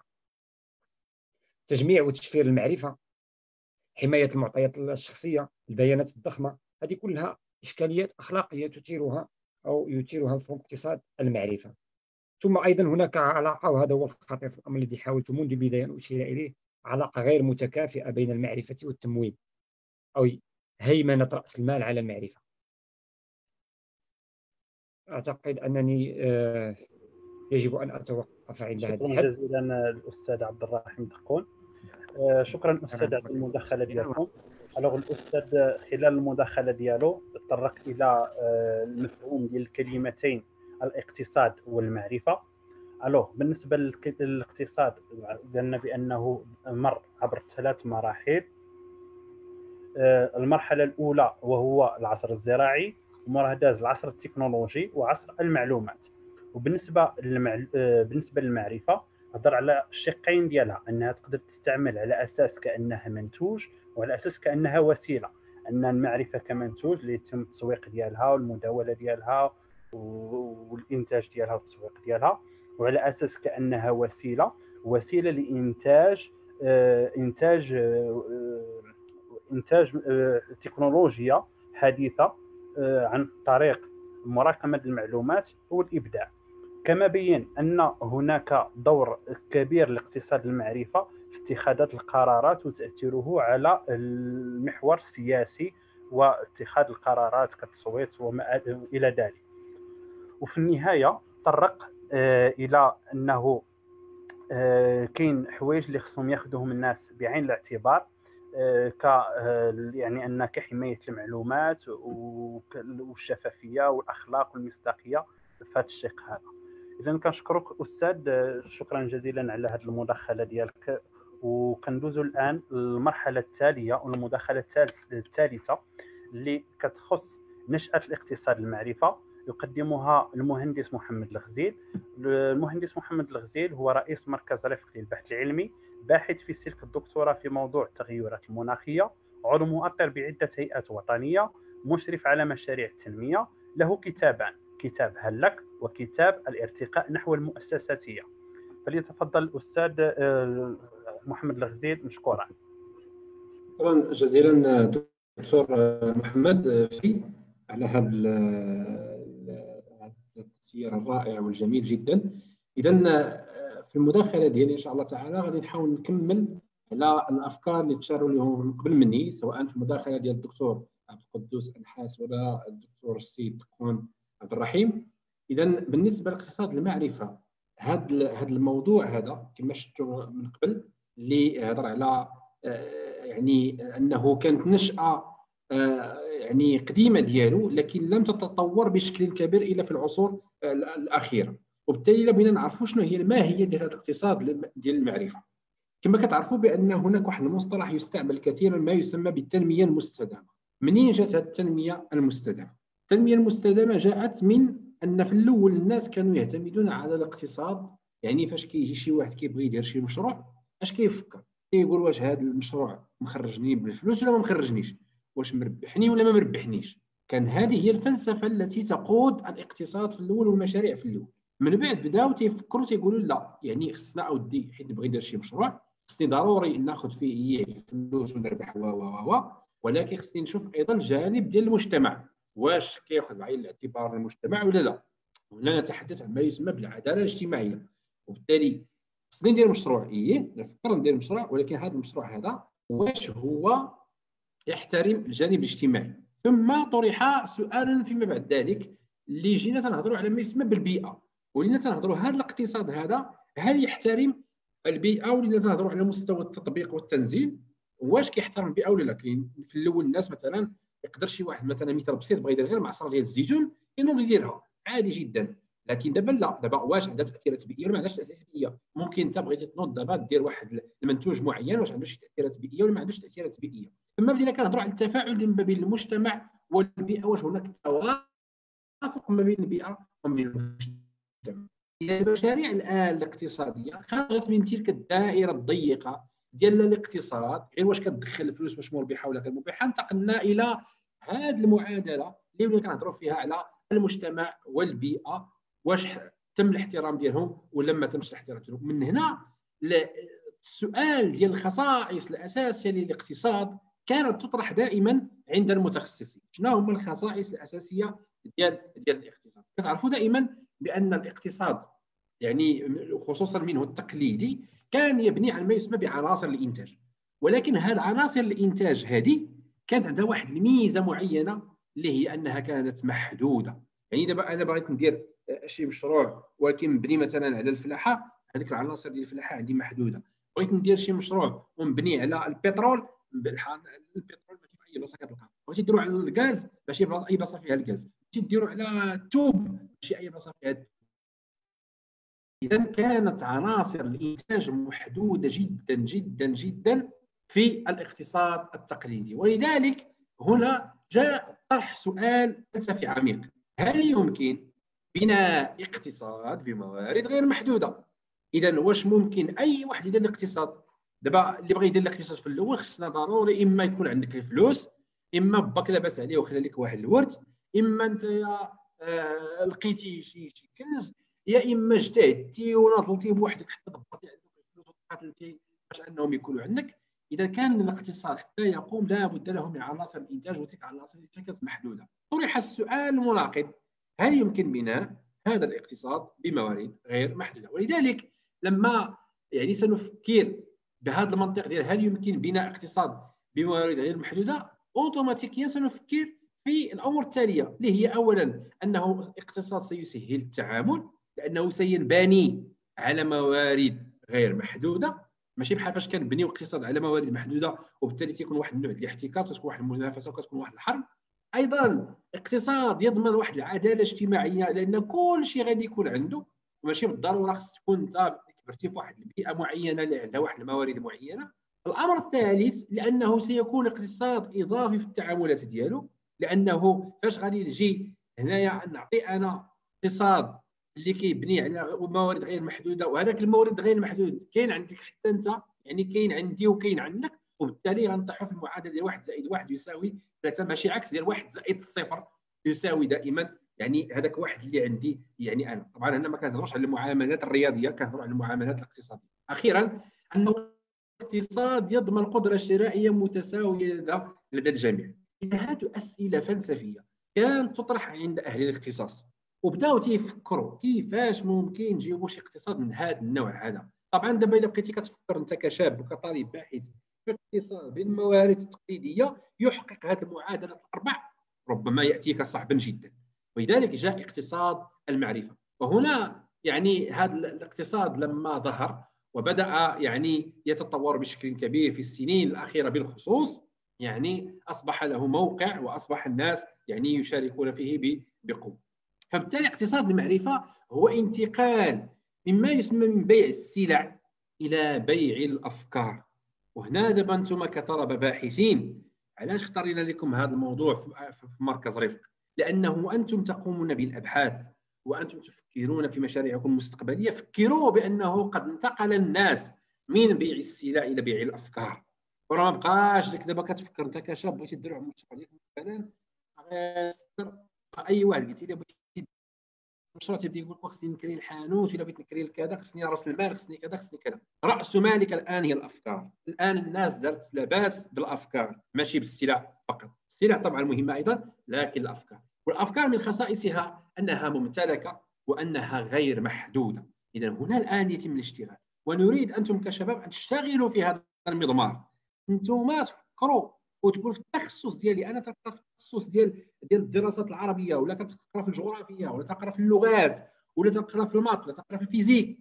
ما هي الأفكار اللي ممكن أنني ندير بها اقتصاد التي أمتلكها الآن وهي غير محدودة واللي ممكن أنني هذا السؤال الفلسفي العميق. يعني تحس براسك بأنك الدماغ ديالك يعني يعني البروسيسور ديالك ديال الراس كيسخن. هذا الشيء هو اللي خصك تفكر فيه الآن. ولذلك يعني النظرية الحسابية التقليدية ما أصبحت متجاوزة. ولذلك جيمي كارتر يعني قال في مقولة بأن يعني الاعتماد على الطاقة هو المعادل الأخلاقي للحرب اللي يهضر على la dépendance énergétique équivalent moral de la guerre وبالتالي هو كان دعا جيمي كارتر واحد الوقيتة لما يسمى بتأشير الدولار اللي كان مبني بالأساس على المواد الأولية اللي هي تتميز بقوة كبيرة لكنها محدودة إلى الانتقال إلى تأشير الدولار إلى المعرفة التي تتميز بقوة كبيرة لكنها غير محدودة. هذا يعني منذ زمان وهو يعني جاءت هذه الفكرة ديال تأشير الدولار المبني على المعرفة. مثال تطبيقي فيسبوك. يعني لما تذهب الآن لشحال تأثر هذا الفيسبوك على الناس وشحال أثر على الاقتصاد الأوروبي في دراسة للمكتب Deloitte أشنو لقى لقى بأن le chiffre ديال فيسبوك دار 15.3 بليون. شنو هي 15.3 بليون أورو اللي دار؟ أشنو؟ موقع plateforme فكرة شاب فكرة اقتصاد المعرفة. فكرة ديال شاب ديالكم اللي كتصنتوا ليا. فكرة ديال شاب بسيط دار موقع تواصل. ما قالش بأنني خصني نمشي نمشي نكري اللوكال. ما قال بأنني لا خصني بحاسوب بسيط ولكن بفكرة عميقة جدا.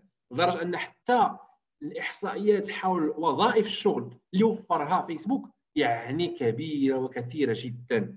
وهذه الدراسة يمكن يعني أن نرسلها لكم للاطلاع أكثر. ولذلك آه، داروا واحد واحد من النكت والطرائف. واحد الكيستيونير وسولوا واحد السؤال الناس قالوا شحال نعطيوكم وتنسحبون من الفيسبوك.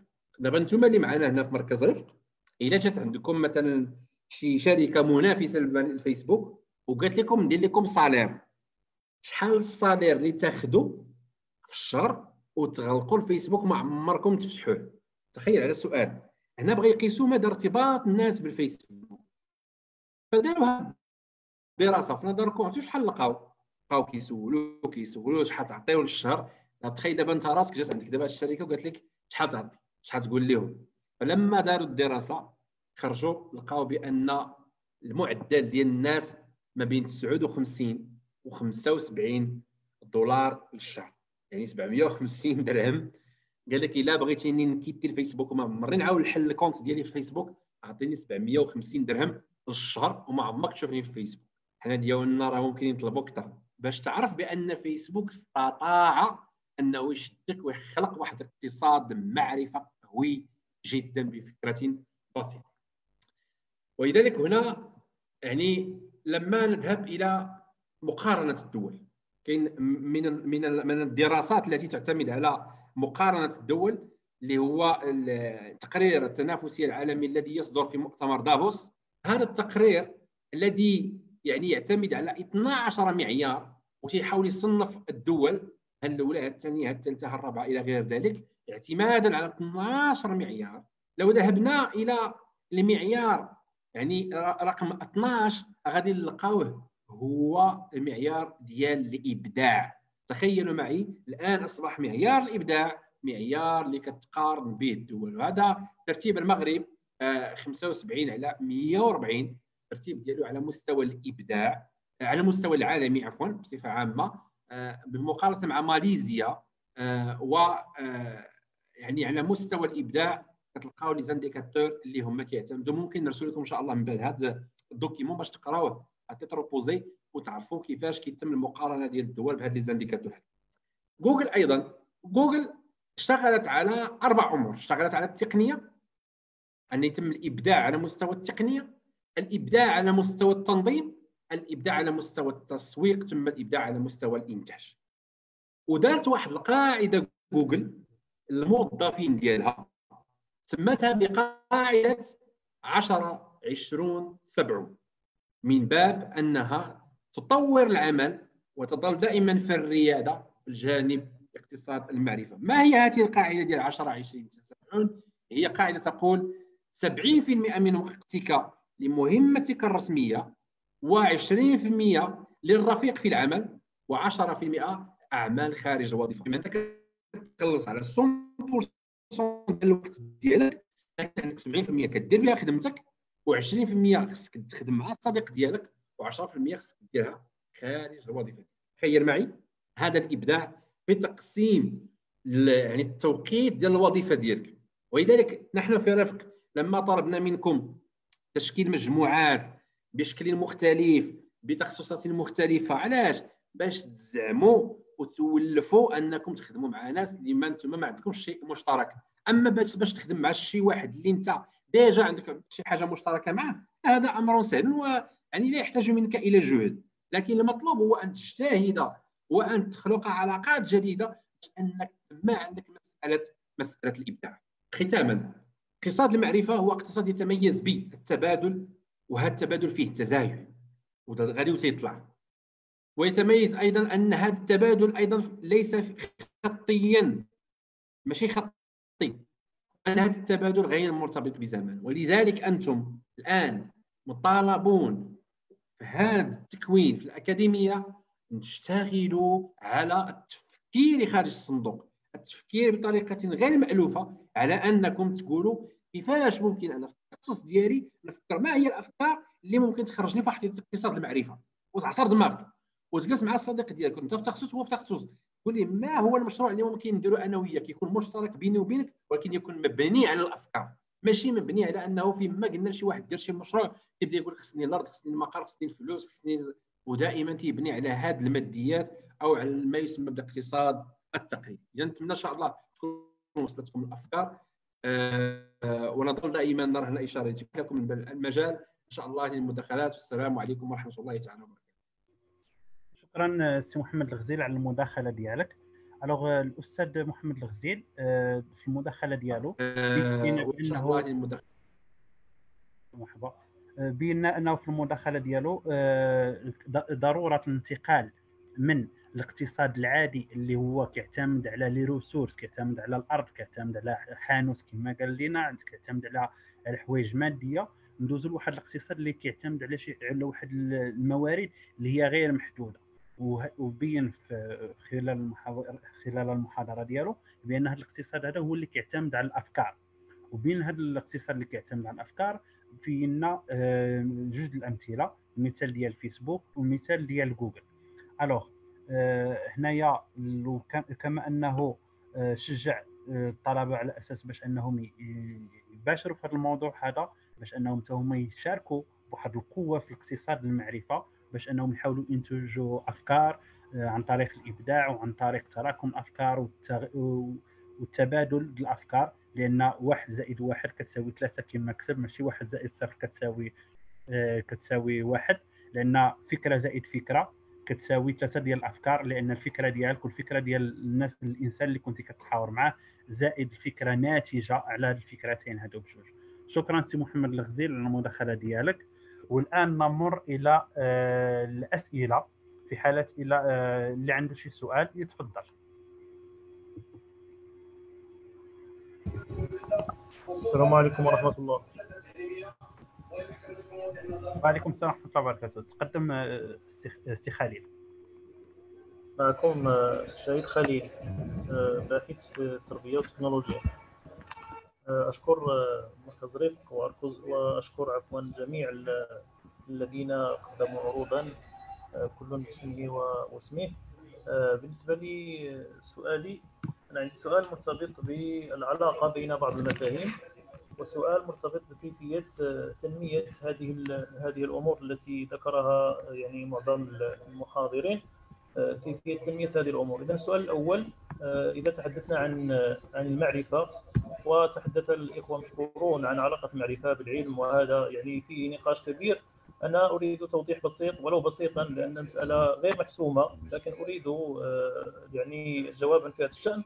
في العلاقة بين المعرفة والعلاقة بين نظرية المعرفة والعلاقة يعني عفوا اقتصاد المعرفة وبين نظرية المعرفة وبين الإبستيمولوجيا في مذهب من يفرق بين نظرية المعرفة والإبستيمولوجيا.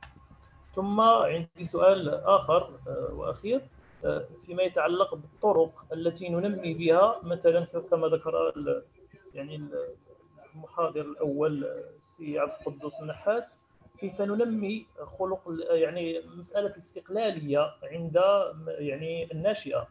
فمثلا أنا مدرس كيف أمرر هذه المسألة؟ ومثلا أنا أب كيف أمرر هذه المسألة؟ يعني كيف أربي هذا عدم التخوف في ذلك الشخص الذي س يعني يكون في المستقبل في التلميذ أو في الابن أو في يعني من أتعامل معه. أو في نفسي كذلك إذا كنت أتخوف وأتردد دائما في الإقبال على بعض هذه الأمور التي تتطلب جرأة وشجاعة. وشكرا لكم. السلام عليكم ورحمة الله وبركاته.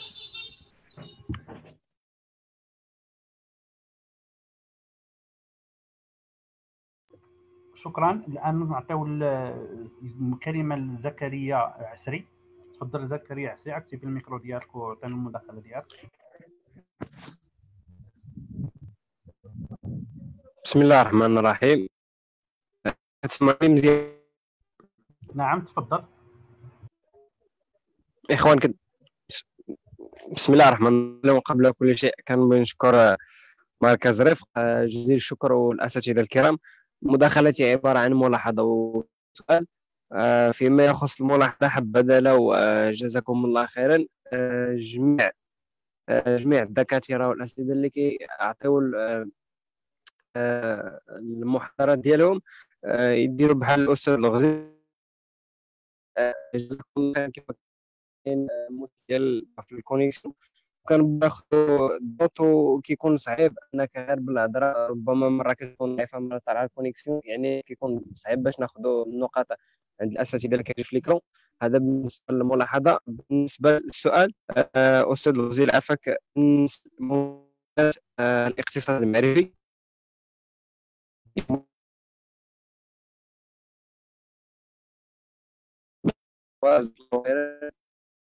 وشكرا زكريا ما سمعناش آه، السؤال مزيان. بالنسبة للسؤال ديالي الاستاذ فيما يقول الاقتصاد المعرفي إلا كان ممكن يعاودنا الأمور بالطبي. بدل فيه ليس ما فهمتش هكا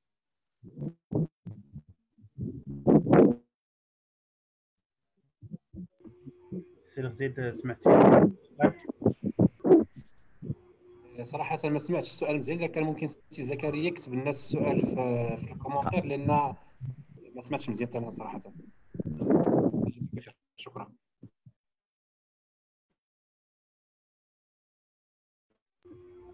كاين شي واحد آخر باغي عنده شي مداخلة عنده شي سؤال؟ مرحبا.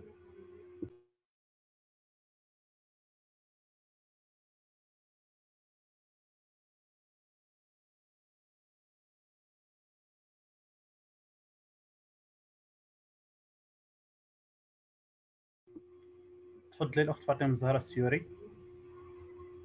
اكتبي الميكرو ديالك وطرحي السؤال ديالك مرحبا.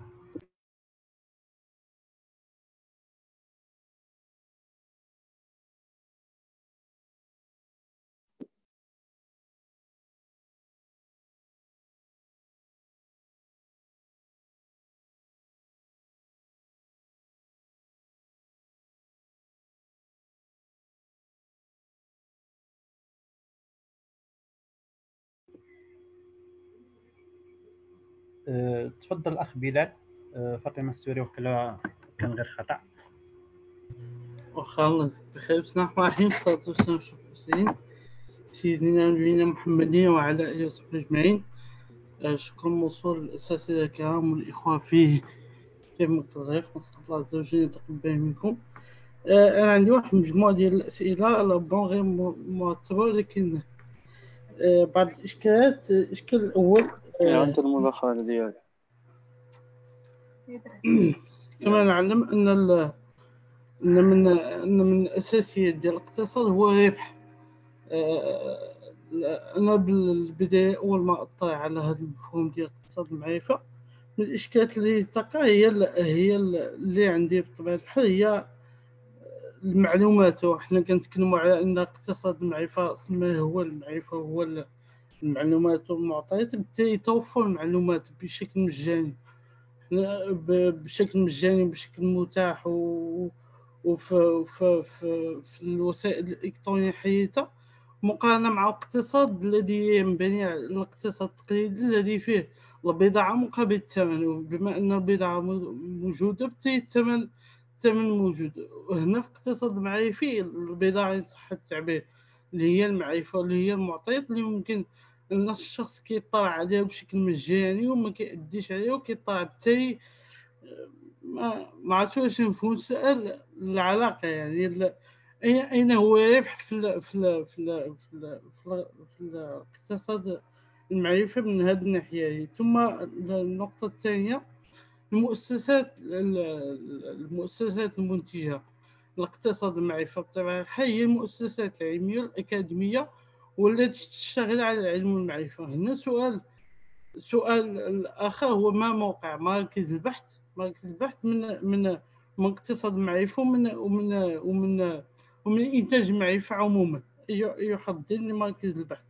ثم النقطة المهمة هي التي طرحها الأستاذ الأستاذ عبد الرحيم. هي أن هيمنة رأس المال على المعرفة. وجزء أساسي في اقتصاد المعرفة. ملي كنتكلموا على هيمنة رأس المال نتكلم عن التوجيه ديال المعرفة. بالتالي أي مصداقية ستكون لهذه المعرفة في إطار هيمنة رأس المال. نحن نعرف أن البضاعة مثلا أو في الاقتصاد العادي أي بضاعة معينة مجرد أنه كيبان فيها واحد العيب ظاهر مثلا في المنتوج أو غير ذلك كتفقد القيمة ديالها. لكن لما نتكلم عن المعرفة نتكلم مثلا مركز علمي ولا ولا مؤسسة علمية كبيرة جدا معروفة على المستوى العالمي ولكن تنتج أفكار موجهة هنا القيمة ديال المعرفة. أي قيمة للمعرفة عندك في في في ال ما دام أنها أنها خصها رأس المال وأنها ستكون بطبيعة الحال ما دام رأس المال كاين إذا ستكون موجهة. ثم النقطة الأخيرة هو واحد العلاقة ما بين مصطلحين أنا شخصيا تلبست بينهما هو العلاقة ما بين اقتصاد المعرفة والاقتصاد المبني على المعرفة وشكرا جزيلا.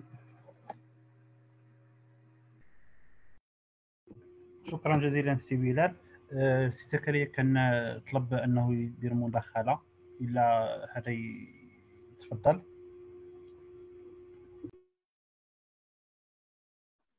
السلام عليكم. تسمعوني كنسمعوك تفضل. آه، اولا كنشكر مركز الرفق على هذه المبادرة وكنشكر الإخوان آه، المحاضرين والإخوان أيضا المتداخل- المداخلين آه، اولا تنعرف براسي زكريا الرئيسي طالب. كنت طالب الحمد لله. يعني حاصل على شهاده الماستر من الدراسه الوطنية للتجارة والتسيير في تخصص التحقيق والمحاسبة والمراقبة. حالا مقاول في شركة اصغر البناء السؤال ديالي هو كيف يمكن لي نحول آه، اقتصاد اللي كان عندي؟ يعني كنت باديه الفكرة ديال اقتصاد تقليدي باقتصاد اللي كنت اللي كنا درسناه في, الكلية ولا درسناه في في المدرسة الوطنية للتجارة والتسيير. يعني ما كانش عندي هذه الفكرة ديال الاقتصاد المعرفة. كيفاش دابا حالا أنا بديت المشروع ديالي دابا ثلاث سنين. كيفاش يمكن دابا يمكن لي زعما نستافد أو نحول من هذه الفكرة ديال الاقتصاد اللي هو تقليدي الاقتصاد ديال المعرفة. وشكرا. شكرا. آه، سي حاتم تفضل. السلام عليكم ورحمة الله تعالى وبركاته. الشكر موصول لجميع الإخوة الأفاضل كل بصفته واسمه. وإلى مركز رفق لتأهيل الباحثين الشباب آه، صراحة المداخلات كانت جد قيمة لأن الموضوع هو موضوع الساعة وموضوع حساس. وموضوع يرتبط بتغيرات مجتمعية حاصلة ومتسارعة. آه، لمجتمع يسمى المجتمع ما بعد الصناعي أو مجتمع آه، الاقتصاد الجديد أو مجتمع عصر المعلومات.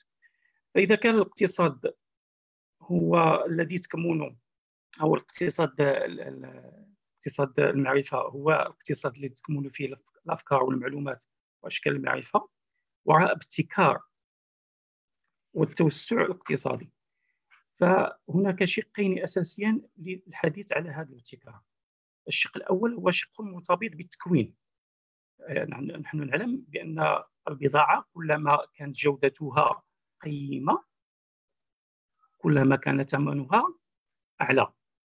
وبالتالي لكي تكون قيمة لابد أن تكون موادها الأولية هي مواد آه، جد آه، مستحسنة. وبالتالي كذلك حتى المعلومة إذا كانت مبنية على آه، على أسس علمية دقيقة وكذلك حتى صاحب المعلومة إذا كان له زاد معرفي متنوع ومطلع في مجالات عدة فالأكيد أن المعلومة ستكون لها قيمة. الشق الثاني هو مرتبط بالاستثمار في المجال المعلوم كما هو متعارف عليه هو أن الدول التي تستثمر في اقتصاد المعرفة عن طريق التعليم والتكوين فأكيد أنها ستح... أنها قد حصدت آه، مستويات متقدمة آه، على مستوى العالمي. ولذلك يبقى التحدي في عالم العالم العربي والمجتمعات دول العالم الثالث. يبقى التحدي هو في مستوى التكوين مستوى أو نوع البضاعة التي يحملها آه، أو الساعي في في اقتصاد المعرفة. وهنا من تجربتي الخاصة وأنا أشتغل في قطاع خاص في مجال المقاولة. يعني لمست حقيقة أن المعلومة ذات قيمة كبيرة جدا. كلما آه، تمكنت من معلومة ولو صغيرة ولو دقيقة كلما يعني توصلت إلى نتائج أحسن وإلى مضاعفة للأرباح. وهذا هذا تجربة عملية. آه، لهذا أنا أوجه السؤال للإخوة الكرام آه، على مستوى التكوين يعني مستوى الزاد المعرفي. لكي تستثمره في في الاقتصاد المعرفي ثم على مستوى الاستثمار الدولة في هذا المجال. وشكرا. السلام عليكم.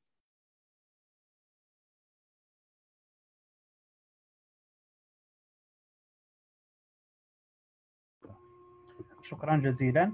alors هنا كي نوصلوا لحد نكتفيو بهذا العدد من الأسئلة إلى أنه كاينين مجموعة ديال الأسئلة عندنا في عندنا في سميتو هنا في la conversation.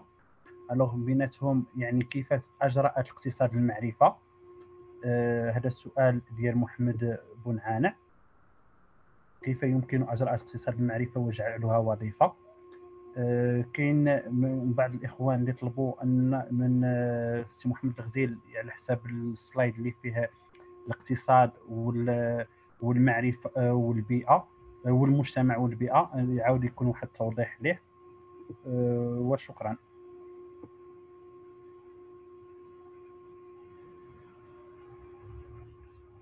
alors كاين سؤال ديال أمل الخيبوس Quel processus pour appliquer les théories de l'économie de savoir alors هادو هما الأسئلة اللي كاينين. آه الآن نعطيو الكلمة الاساتذه ديالنا الكرام. ونعطيو الكلمة للدكتور عبد القدوس أنحاس. تفضل دكتور.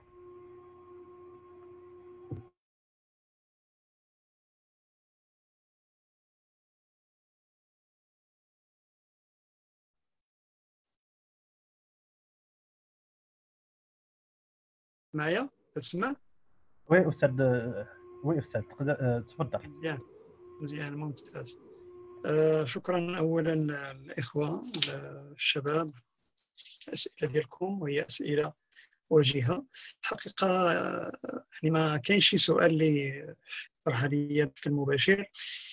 آه، فلذلك الأسئلة كانت يعني تقنية وعملية. أعتقد بأن السي محمد الغزيل يعني معني بالدرجة الأولى بهذا بهذه الأسئلة باعتبار أنه المداخلة ديالو كانت في هذا السياق وكذلك لأنه دخل أيضا في معمعة المشروع والجانب العملي باعتبار أنه مهندس وتقني ورئيس مركز فيمكنه إن شاء الله أن يجيب آه، نشكر كذلك السي عبد الرحيم على على مداخلته الجميلة جدا لأنه تحدث فيه على التحديد المفهومي.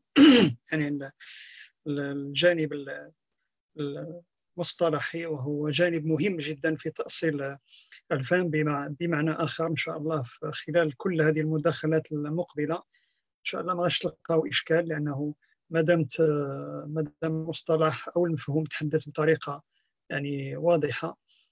ف طبعا بالنسبة النقطة اللي ممكن أنا نضيفها. يعني نتكلم على على على روح الأسئلة اللي تطرح. روح الأسئلة فيها جوج ديال الأنواع. فيها جوج فيها نوع تقني يتحدث عن الإشكالات التقنية التي يعني تطرح يعني آنيا وإجرائيا يعني هذا مقاول داخل في واحد المشروع معين ها الإشكالات التي تطرح عليه. وحنا الآن تندخلوا في التفاصيل. وهذه المسألة هذه ممكن ممكن نتكلموا على دليل الإرشادات المتعلقة يعني بفنون المقاولة آه، ممكن يجاوب في الأجوبة. آه، طبعا بالنسبة لي أنا آه، يعني هذا هذا أمر يعني فوق الطاقة ديالي. لكن اللي نبغي نأكد عليه هو النقطه أساسية. أن اقتصاد المعرفة يعني أساسا يتعلق بسلطة المعلومة يعني سلطة الفكرة. يعني الإنسان الذي يملك المعلومة يملك القدرة يملك السيطرة على الأسواق على المنتوج على المال على الثروة. أحيانا يمتلك السلطة على الشعوب وعلى الدول.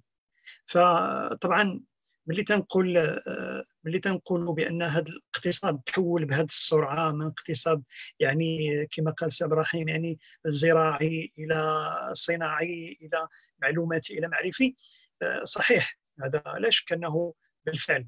ولكن ما نساوش بأنه وراء هذا التحول كاين تحولات كذلك يعني في العقلية وفي في المجتمع بشكل عام. وبخاصة يعني كاين بحث علمي لأن هذيك المعلومة راه ما جاياش من الخوا.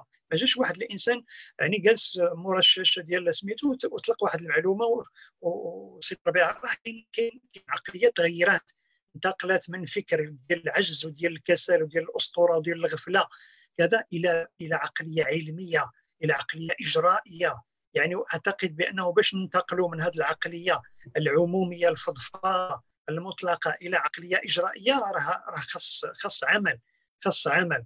فبالتالي وراء وراء الاقتصاد المعرفة وراءها يعني بحوث ووراءها علم ووراءها مختبرات علمية. ووراءها يعني تشجيعات وراء عمل اقتصادي وعلمي كبير جدا هو الذي ينتج لنا مرحلة معينة هي التي نعيشها الآن. بمعنى آخر ما نبغيش أنا نعجز ولكن هذا الواقع. من نقولوا نتكلموا على اقتصاد المعرفة فينبغي آه، أن نراعي تلك النقلة التي تحدث فينا نحن. وأرجع إلى الأساس.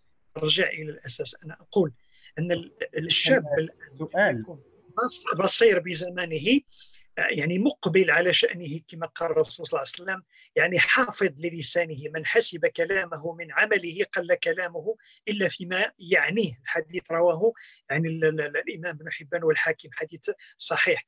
يعني هذا الحديث يدل لنا على أن الشاب الذي وصل إلى هذا المستوى ديال الإدراك إدراك اللحظة التاريخية التي يعيشها بمعنى أنه كان ما عارفش ولا عارف ولا عارف بأنه ما كانش عارف ولا عارف بأنه لا عارف. هذه اللحظة ديال التغيير ديال إدراك الحال وإدراك النفس هي لحظة تاريخية في حياة الإنسان. وأعتقد بأن أي أي مشروع وأي مجال يعني ممكن يتفتح قدامه. وحتى اقتصاد المعرفة هذا المصطلح تيبان لنا كبير بزاف باعتبار أنه مرحلة أو لحظة من لحظات التغير أو التطور الفكري والإقتصادي والحضاري الإنساني. ما نساوش بأنه في لحظة معينة ممكن نتكلموا على يعني على مصطلح والمركب إضافي آخر أكثر من يعني من من من من, من اقتصاد المعرفة. ممكن شاب بحالكم تبارك الله في مركز رفق ولا في مراكز. ممكن يجينا بمشروع اللي هو أعظم من هذا المشروع في لحظة معينة بحيث أنه غادي يبدأ يبان لنا بهذه المشاريع في الماضي. لذلك فأقول دائما أركز على الروح. يعني لحظة الانتقال. لحظة الانتقال من الإنسان الذي لا يعي زمانه إلى الإنسان الذي يعي زمانه. الإنسان الذي لا يعرف أنه لا يعرف إلى الإنسان الذي يعرف أنه يعني لا يعرف ثم الإنسان الذي يعرف أنه يعرف هذه الميلاد. لأنه نعرفه لأننا ما عارفينش وبغينا نتعلمه من البداية. باللي غادي نوصلوا لهذا المستوى لا شك أنه اللحظة التاريخية ديالنا غادي تبدأ. كما قال الإمام الشافعي نختم بها كلما أدبني الدهر أراني نقص عقلي وكلما ازددت علما ازددت علما بجهلي كل ما ازددت المعلومة والمعرفة يدرك الإنسان بأنه كان لا يدرك ولا يفهم. ثم هنا يحدث التغير والتحول فيبدأ الإنسان هنا في يعني في البحث. تبدأ روح المغامرة تبدأ روح البحث تبدأ روح استكشاف. يعني الإنسان ما تبقاش عنده حدود لأن هذه الطاقة الدين طاقة عظيمة جدا. تغير حياة الإنسان ووجود الإنسان. آه، سمحوا لنا السلام عليكم. شكرا أستاذ. بالنسبة لبعض المشاركين اللي قال لك شنو هي العلاقة بين اقتصاد المعرفة ونظرية المعرفة والاستيمولوجيا. كما كيف كيفاش نديروا كيف ننمي خلق الشجاعة والجرأة في هذا المجال؟ ولا كان شي ريفيرونس ديال شي كتاب الله يجازيك بخير. شوف أنا قبيلة استشهدت بالكتاب ديال ديال ماكس فيبر مفكر غربي يعني مفكر غربي المفروض نستشهد بكتاب ديال مفكر مسلم. ولكن بغيت آه، بغيت نتكلم مع الشباب باعتبار أن إحنا عندنا واحد الحالة ديال الصدمة الحضارية يعني انبهار بالفكر الغربي والحضارة الغربية. شئنا أم أبينا صغارا وكبارا وشبابا وشيوخا. يعني الأساتذة اللي قرونا في الجامعة في الثانوية في حياتنا كلها متأثرين بالفكر الغربي للأسف. لكن بغيت نقول بان هذا الكتاب ديال ماكس فيبر يقول لنا نقطة جوهرية. أه، حيد لنا بزاف ديال الأوهام كانت في العقول ديالنا بأن الحضارة الغربية كفكر اقتصادي كفكر صناعي كتغير جذري وقع في الاوروبا في الحياة ديال الاوروبيين بشكل عام. أه، كان السبب ديالها يعني عصر الأنوار وفلسفة الأنوار وعصر الحداثة والبعد عن الدين وما شابه هو يقول لنا بأن هذا هذا مسألة مش صحيحة. اولا ماشي صحيحه بمعنى آخر بأنه لما لما قرر الإنسان الغربي أنه يحاول يصلح الدين ديالو والنظرة الدينية ديالو اللي ما كانتش تتجه باتجاه صحيح آه، بدأ بدأ بدأ يفكر بشكل سليم. وقال لنا بانه الأماكن اللي اللي حدث فيها الإصلاح الديني في أوروبا يعني ملي كانت فيها المواعظ ديال مارتن لوثر كينغ ديال كالفين ديال الأتباع ديالهم من من كذا الإصلاحيين كانوا كانوا أساتذة في علم التنمية أكثر منهم أساتذة أكثر منهم قساوسة ورجال دين هذه الأماكن كانت في الريخ الألماني فين كاين الآن يعني البؤره الصناعات القوية التي لا زالت إلى حد الآن في ألمانيا. كانت في بريطانيا ثم انتقلت ثم في هولندا ثم انتقلت إلى أمريكا. خلينا هذا الإصلاح الديني غير النظرة ديال الإنسان للوجود شنو غير بالضبط؟ أنا اللي نركز عليه. راني شرت في المداخلة إلى أن الأحاديث النبوية والآيات القرآنية يعني الغاية ديالها تحرير عقل الإنسان. تحرير عقل الإنسان. ألا يكون تابع. ألا يكون تابع. يعني الله تعالى ملي تكلم على النموذج ديال الإنسان الكل والإنسان العدل تكلم على الإنسان العدل باعتبار أنه إنسان قوي.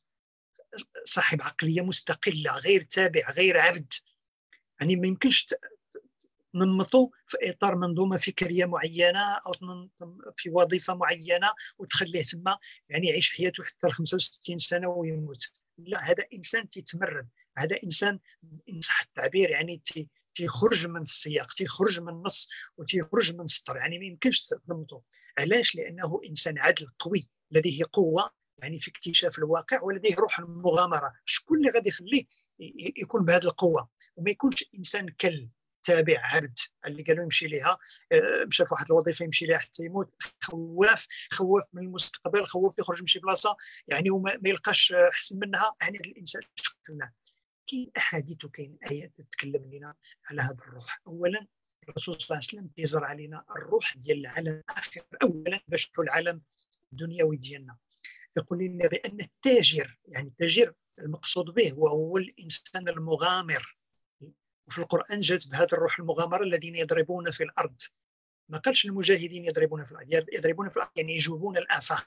هو في الدولة هو في القطر هو في المدينة هو في كذا. وما خايفش يعني تيغامر بالتجارة ديالو تيغامر بالروح ديالو تيغامر فهذا الإنسان ملي تتكون في هذا الروح شكون اللي تيخليها فيه؟ تيقول تيقول لنا الرسول صلى الله عليه وسلم شكون اللي تيخلي في هذا الروح؟ اولا لأنه الرسول صلى الله عليه وسلم شبهه بالمجاهد. القرآن شبهه بالمجاهد بل سبقه على الإنسان الذي يجاهد بدمه وبروحه. آخرون يضربون في الأرض وآخرون يجاهدون في سبيل الله. يضربون في الأرض يبتغون من فضل الله وآخرون يجاهدون في سبيل الله. قالوا العلماء سبق الله تعالى هذا الإنسان الذي يضرب في الأرض على الذي يجاهد. الصحابة فهموها. فهموا بانه هذه المسألة راه ماشي سهلة. حتى أن سيدنا عمر قال هذا الانسان يعني قال تنتمنى تنتمنى لو نموت وأنا غادي مسافر من أجل التجارة والكسب. على نموت وأنا مجاهد. علاش؟ وهذه مسألة عجيبة جدا. ربما ما تنقراوهاش بزاف في النصوص وفي الكلام ديال الصحابة وفي الآيات القرآنية. لأنه مازال ما فهمناش الروح الاقتصاد. بعض الإخوان تسولوا على على مسألة الرأس مال والربح هل تؤثر في المسألة الأخلاقية ولا راه مازال عندنا واحد الخلط ما بين البعد الأخلاقي وكسب الثروة. يعني إلا شفنا آه، سبعة ديال الصحابة من العشرة المبشرين بالجنة راه كانوا ناس أثرياء جدا. حتى إن البعض ديالهم كانوا ملي ماتوا قسمت الثروة ديالهم والذهب ديالهم بالفؤوس. يعني الثروة كانت هائلة جدا. وما نقص ذلك حتى حاجة من من من الإيمان ديالهم. بل كانوا من المبشرين بالجنة. بمعنى أن الثروة ماشي هي الاشكال المناط ديال المزيان ولا خايب ماشي هو في الغنى ولا في الفقر. مناط كاين في القلب ديال الإنسان. هل الإنسان لديه القوة يضربون في الأرض يبتغون من فضل الله؟ هذا الإنسان اللي جايب هذا الربح وهذا الكسب جايبوا من الافاق من مدن بعيدة من بلاد بعيدة جايبوا باش باش ينمي الثروة ديالو باش ينمي الاقتصاد ديال البلاد ديالو والقوم ديالو ويقوي الأمة ديالو.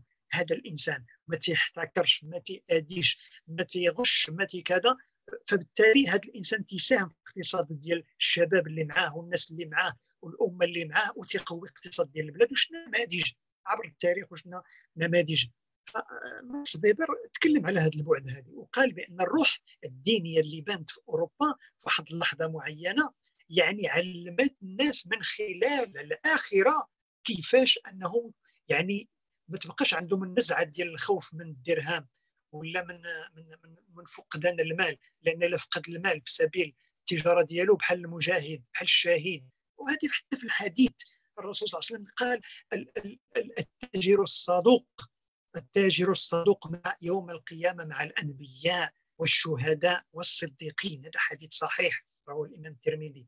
إذا إذا هذه المسألة ماشي بعيدة. إذا اللي نحتاجه الآن الشباب الآن أن يعرف بأنه قد ما يعني دخل بقوة في مشروع اقتصادي قد ما كان مع الأنبياء ما ينقص منه حتى ذرة. يعني لا ينقص منه. ما دام لا يغش ما دام لا يكذب ما دام لا يخون بل ما دام لا يرابي يعني الشروط المعروفة. فإنه طبعا مهما كان غناه مهما كانت ثروته مهما كانت كذا لا ينقصه لا ينقص منه ولا من أخلاقه ولا من مكانته.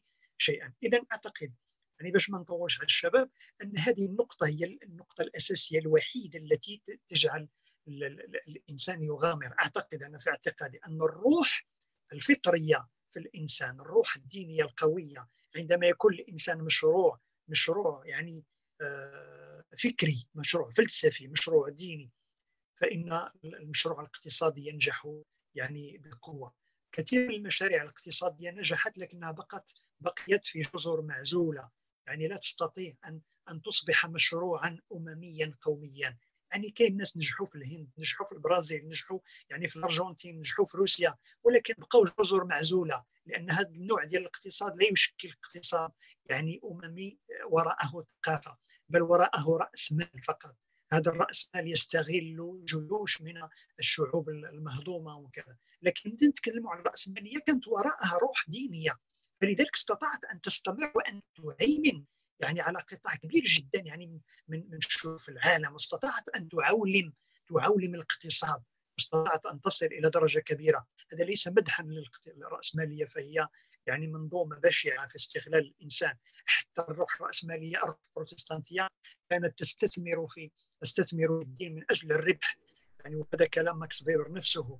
لكن أتكلم عن المشروع الديني الإسلامي عندما ينتقل من من بعد روحي قوي كما جاء في الآية القرآنية. الإنسان العدل الإنسان الذي ليس فيه شركاء متشاكسون هذا الإنسان الذي يملك الاستقلالية وتحرر نفسيا من من عقد الخوف من الدنيا ومن المستقبل ومن الآخر ومن الاقتصاد العالمي ومن العولمة.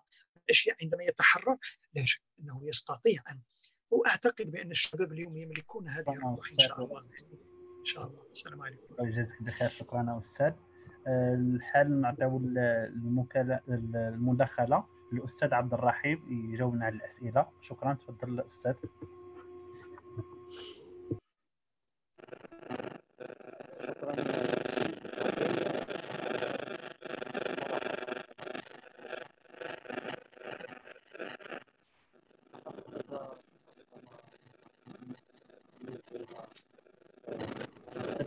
نسمعوك مزيان عافاك اذا كاين تقدم الصوت.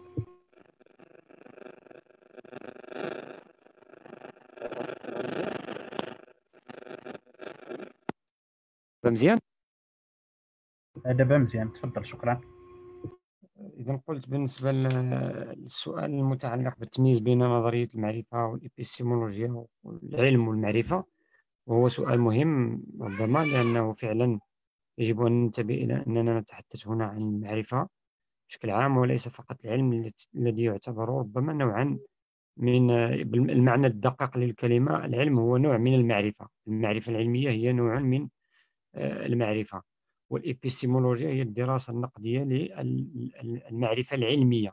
في حين أن نظرية المعرفة هي آه، مبحث من مباحث الفلسفة آه، قبل أن ربما أن تستقل يعني الإبستيمولوجيا نسبيا عن الفلسفة آه، مبحث من مباحث الفلسفة يهم يعني إشكاليات المعرفة في البعد ديالها ربما آه، الفلسفي والأنثروبولوجي الفلسفي في البعد ديالها أيضا آه، المعرفي وتطرح أسئلة كيف يمكننا أن نعرف كيف يمكن للإنسان أن يعرف ماذا يعني أن يكون الإنسان كائن عارف ما كيف يعني أو ماذا بإمكان الإنسان أن يعرف؟ ما هي حدود المعرفة؟ ما هي قيمة المعرفة؟ إلى غير ذلك.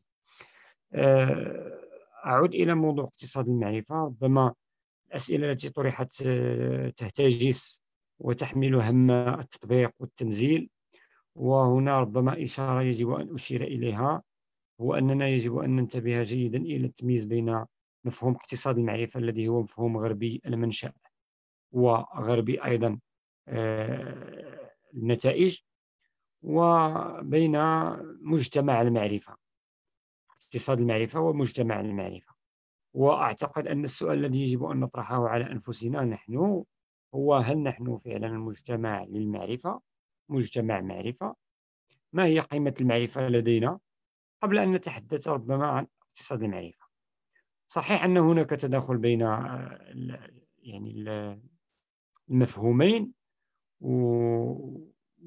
وهناك امتداد بينهما ولكن آه، نحتاج فعلا إلى أن نعود إلى أنفسنا كما قال الأستاذ أنحاس وأن نتحمل مسؤولية وشجاعة آه، وجودنا ونتحمل هذه الشجاعة أو هذه المسؤولية في ما يخص علاقتنا بالمعرفة. وفي هذا الإطار يمكن أن نستفيد ربما من التقدم الذي عرفته المجتمعات الغربية وأيضا الانتكاسات التي تعرفها الآن بفعل أو بسبب تداخل الاقتصاد مع المعرفة وهيمنة الاقتصاد على المعرفي من جهة وأيضا الإشكاليات التي تطرحها ربما آه، التطور التي تعرفها المعرفة البشرية فيما يخص الجانب الأخلاقي والجانب البيئي. هذه كلها ربما أسئلة لا يمكن أن يعني أن نفصل ما هو فلسفي. عن ما هو تطبيقي عملي عن ما هو أخلاقي عن ما هو آه، معرفي. العالم اليوم والمهندس إن أراد فعلا أن يتقدم بشكل جيد فيما يهم أو فيما يخص مجتمع المعرفة أو اقتصاد المعرفة يجب عليه أن يلم بكل هذه الإشكاليات وأن يستحضرها في ممارسته وفي تفكيره في آه، يعني تنزيل آه، أو آه، يعني فتح باب الممكنات في مجال اقتصاد المعرفة. ربما هذا كل ما لدي لكي أضيفه وأشكركم على يعني تفاعلكم وأشكر الجميع يعني على هذه الأمسية الشيقة. شكرا جزيلا أستاذ. شكرا على المداخلة ديالك. الآن كنت نعطيو المداخلة للمهندس محمد الغزيل. تفضل سي محمد الغزيل. آه، شكرا دكتور سي محمد. آه، أنا جاني واحد السؤال آه، مشترك ديال السي محمد والأخت أمل كيفاش ممكن أننا يعني نجرؤوا هذا الاقتصاد؟ اسمحوا لي نبارطاجي معكم واحد ديالكم. كتعرفوا بأن منبع المعرفة منين كيجي؟ المعرفة كيفاش كتنمو؟ أهم حاجة في المعرفة لتنمو هو السؤال. ولذلك التحدي الحقيقي دابا لكم وأنا أنا أنا جد سعيد بأنني دابا كنسمع بأنه آه، عندكم هذه الرغبة وكيفاش نديروا كيفاش نطبقوا كيفاش راه هذا هو الهدف ديال هذه الأكاديمية. هو هذا الإحساس بأنكم كتقولوا لي كيفاش أنا ممكن نطبق. دابا اليوم جينا غير باش نفهموا الأسس الفلسفية والمرجعية ديالها ونفهموا بأنه راه إلا ما كانش عندنا واحد الأسس اللي هي مضبوطة ومحترمة ومقدرة وذات مبنية على قيم أساسية ودافعة راه ما يمكنش ندير نحركوا اقتصاد المعرفة. لكن تيبقى من بعد المرحله الاخرى اللي هو السؤال. وراه كاع التكوينات اللي غادي يجيو من بعد غادي نحاولوا ما أمكن نجاوبوا على هذه الأسئلة من هذا القبيل. ولذلك السؤال هو مهم دائما في بناء المعرفة. ولذلك حتى في أصولنا لما ظهر ما يسمى بالفقه التقديري عند أبو حنيفة النعمان في العراق فجاء في هذه الأسئلة استفزاز على الاشياء لم تقع من أجل استفزاز العقول. وبالتالي دابا أنت ك يعني كطالب باحث يجب أن يستفزك السؤال. ولذلك يعني حتى من أدوات الإبداع ويمكنكم الرجوع إلى كتاب الآلة الإبداعية للدكتور طارق السويدان يتحدث فيه عن كيفاش ممكن أنك تطرح الأسئلة الإبداعية. وفيه تيقول لك بأنه من الأمور اللي تشتغل عليها هي هي القلب الأشياء. يعني دابا أنتم مولفين كتقراو وكتشتغلوا على الأبحاث ديالكم بنفس المنهج نفس الطريقة. مرة مرة طرح السؤال مستفز. السؤال قلب المعرفة ديالك المعتادة. ما غادي تبان لك بهذيك الأمور؟ ولذلك ظهرت مجموعة من العلوم الجديدة اللي حاول الناس أن يربطوا غير المرتبط به واللي حاجة اللي ما مولفينش ظهر ما يسمى بالبلاوشتين يعني l'amélioration humaine ظهر ما يسمى ب transhumanisme ظهر ما يسمى ب clonage reproductif هضروا الناس على جمع ما بين الآلة والإنسان هاد l'hybridation هضروا على ال robotisme وعلى ال automatisme هضروا على les TIC يعني هاد التعليم عن بعد هضروا على learning machine هضروا على les MOOC. دابا هاد كتشوفوا هاد الآفاق اللي مفتوحة دابا بهاد les MOOC كثار بزاف وهي آفاق مفتوحة للناس. les massive multiplayer online game هادو اللي الألعاب اللي كتلعب الآن مشتركة بين مجموعة من من من مفرقين على التوشيدو شحال كيدخل ديال الفلوس؟ يعني ما بين 2004 و 2014 يعني تقريبا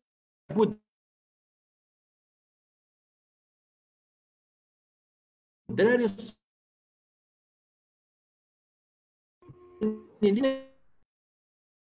سير غزير الصوت الله يجازيك بخير. مليون ديال نعم سي محمد؟ الصوت هذه ال partie ديال من 2004 ل 2014 فشلنا الصوت فيها. آه، قلت بانه من 2004 ل 2014 حسبوا شحال ديال الساعات اللي تكونيكطاو فيه هذوك الأطفال اللي كيلعبوا في هاد les jeux. إلا جمعتي درتي la sommation ديالهم عطات لهم 7 المليون د العوام. شوفوا شحال ديال الناس واحد la masse اللي عندكم هنايا. ونجي آه تكاوين اللي غادي نهضروا نهضروا لكم فيها على التسويق الإلكتروني وغادي تشوفوا يعني المجال ديال التسويق الإلكتروني كيفاش ممكن أنك تنشر فيه أفكار تنشر فيه مواد تنشر فيه بزاف الأمور. غادي نرجع ل يعني ل السؤال اللي تطرح لي أيضا على آه، ديك الثلاثية ونبارطاجيها معكم هي الأخرى. نعاود نشرحها لكم بسرعة. ثلاثية ديال الاقتصاد التنمية. هاد الثلاثية هذه شنو كنهضروا فيها؟ تنهضروا على أساس فاش كتبغي دير أنت واحد المشروع ديالك. كان الاقتصاد التقليدي في التنمية المستدامة اللي مازال كنخدموا به حتى الآن. اللي هو تحترم هاد les composantes ثلاثة يعني دابا أنت إلا مشيتي عند les bailleurs de fonds يعني الناس اللي كيعطيو التمويل وبغيتي دير المشروع ديالك تيطلبوا منك خص الاحترام لهاد ثلاثة les composantes. يكون مربح يعني عنده من تما فاش كتحسب le coût ديالو من الناحيه الاقتصاديه تلقاه مربح. من الناحيه الاجتماعية كيلقاو واحد l'impact social ديال هذاك ال projet ديالك. وفاش كتمشي من الناحية البيئية كتشوف بأنه كيحترم القوانين البيئية. donc هذا هو المقصود بالجمع ديالهم. وكان السؤال أيضا ديال السي آه توفيق يعني شنو المعنى ديال العدالة والتطبيق والتوافق يعني فاش كنهضروا على الاقتصاد والمجتمع خصو يحقق واحد العدالة. يعني ذاك المشروع ديالي يكون فيه واحد العدالة اجتماعية البيئة والمجتمع يكون واحد التوافق. يعني أي أنه كينفع الإنسان وكينفع البيئة ثم الاقتصاد والبيئة يكون واحد النوع ديال القابل. المعنى ديال يكون أنه يمكن أن أنه يدخل الفلوس لكن في نفس الوقت دون أنه يأذي البيئه ديالي سي بلال هضر على آه، يعني أين هو الربح في في البضاعة ديال ديال المعرفة؟ راه هذا هو التحدي الآن اللي حنا كان اللي حنا كنهضروا عليه هو أنه تبداو تطرحوا هذه الأسئلة طرح بحال السيوية. دابا أنا اش غادي نربح إلى بعت الفكرة.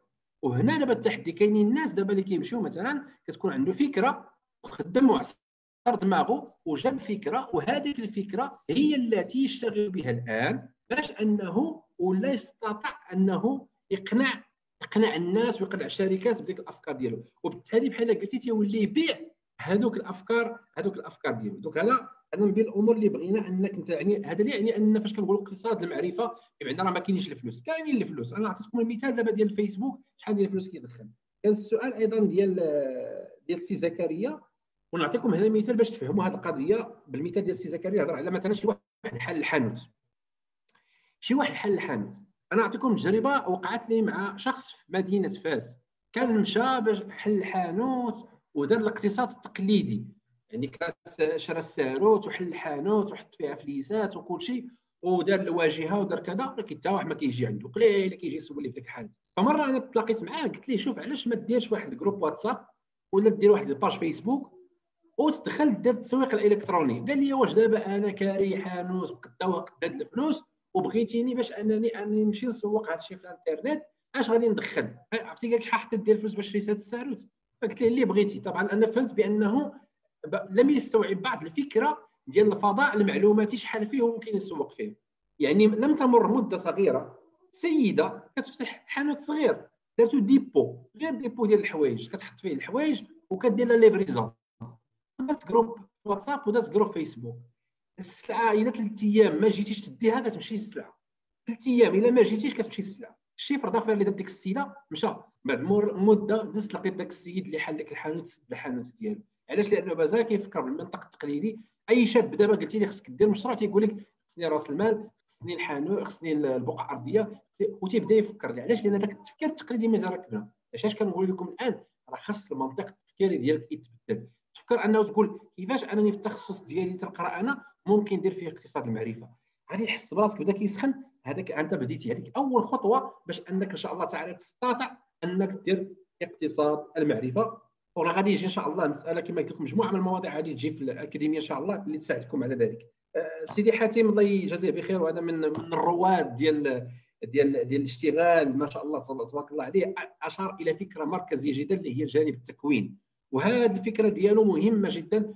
لذلك الله يجازيكم بخير. ركزوا على التكوين. ركزوا على التكوين لأنه فاش كتكون وكتعرف العلوم الجديدة كتولي قاد على أنك تطرح أفكار جديدة في السوق وهذيك الأفكار اللي كتكون مطروحة في السوق كتلقى واحد الإقبال. ولذلك هنا إلى جمعنا الفكرتين. الأفكار اللي هضر عليهم الدكتور انحاس عبد القدوس اللي هي المرجعية الأساسية لنا اللي خصك تأخذ هذوك الأفكار مبنية على القيم. لأن حنا عاوتاني ماشي الهدف ديالنا هو نديروا اقتصاد المعرفة الذي نكذبوا فيه على الناس الذي يعني نبيعوا الناس الأوهام وبدا نخرفوا على الناس ونديروا خرايف. لا خص يكون مبني على القيم أساسية كما شار لها الدكتور وجا لكم السي عبد الرحيم هضر على التطور ديال الاقتصاد وكيفاش أنه كان واحد الاقتصاد راسمالي آه يعني داب ذو بعدين تجاريين محضين وكيف تطور عبر التاريخ.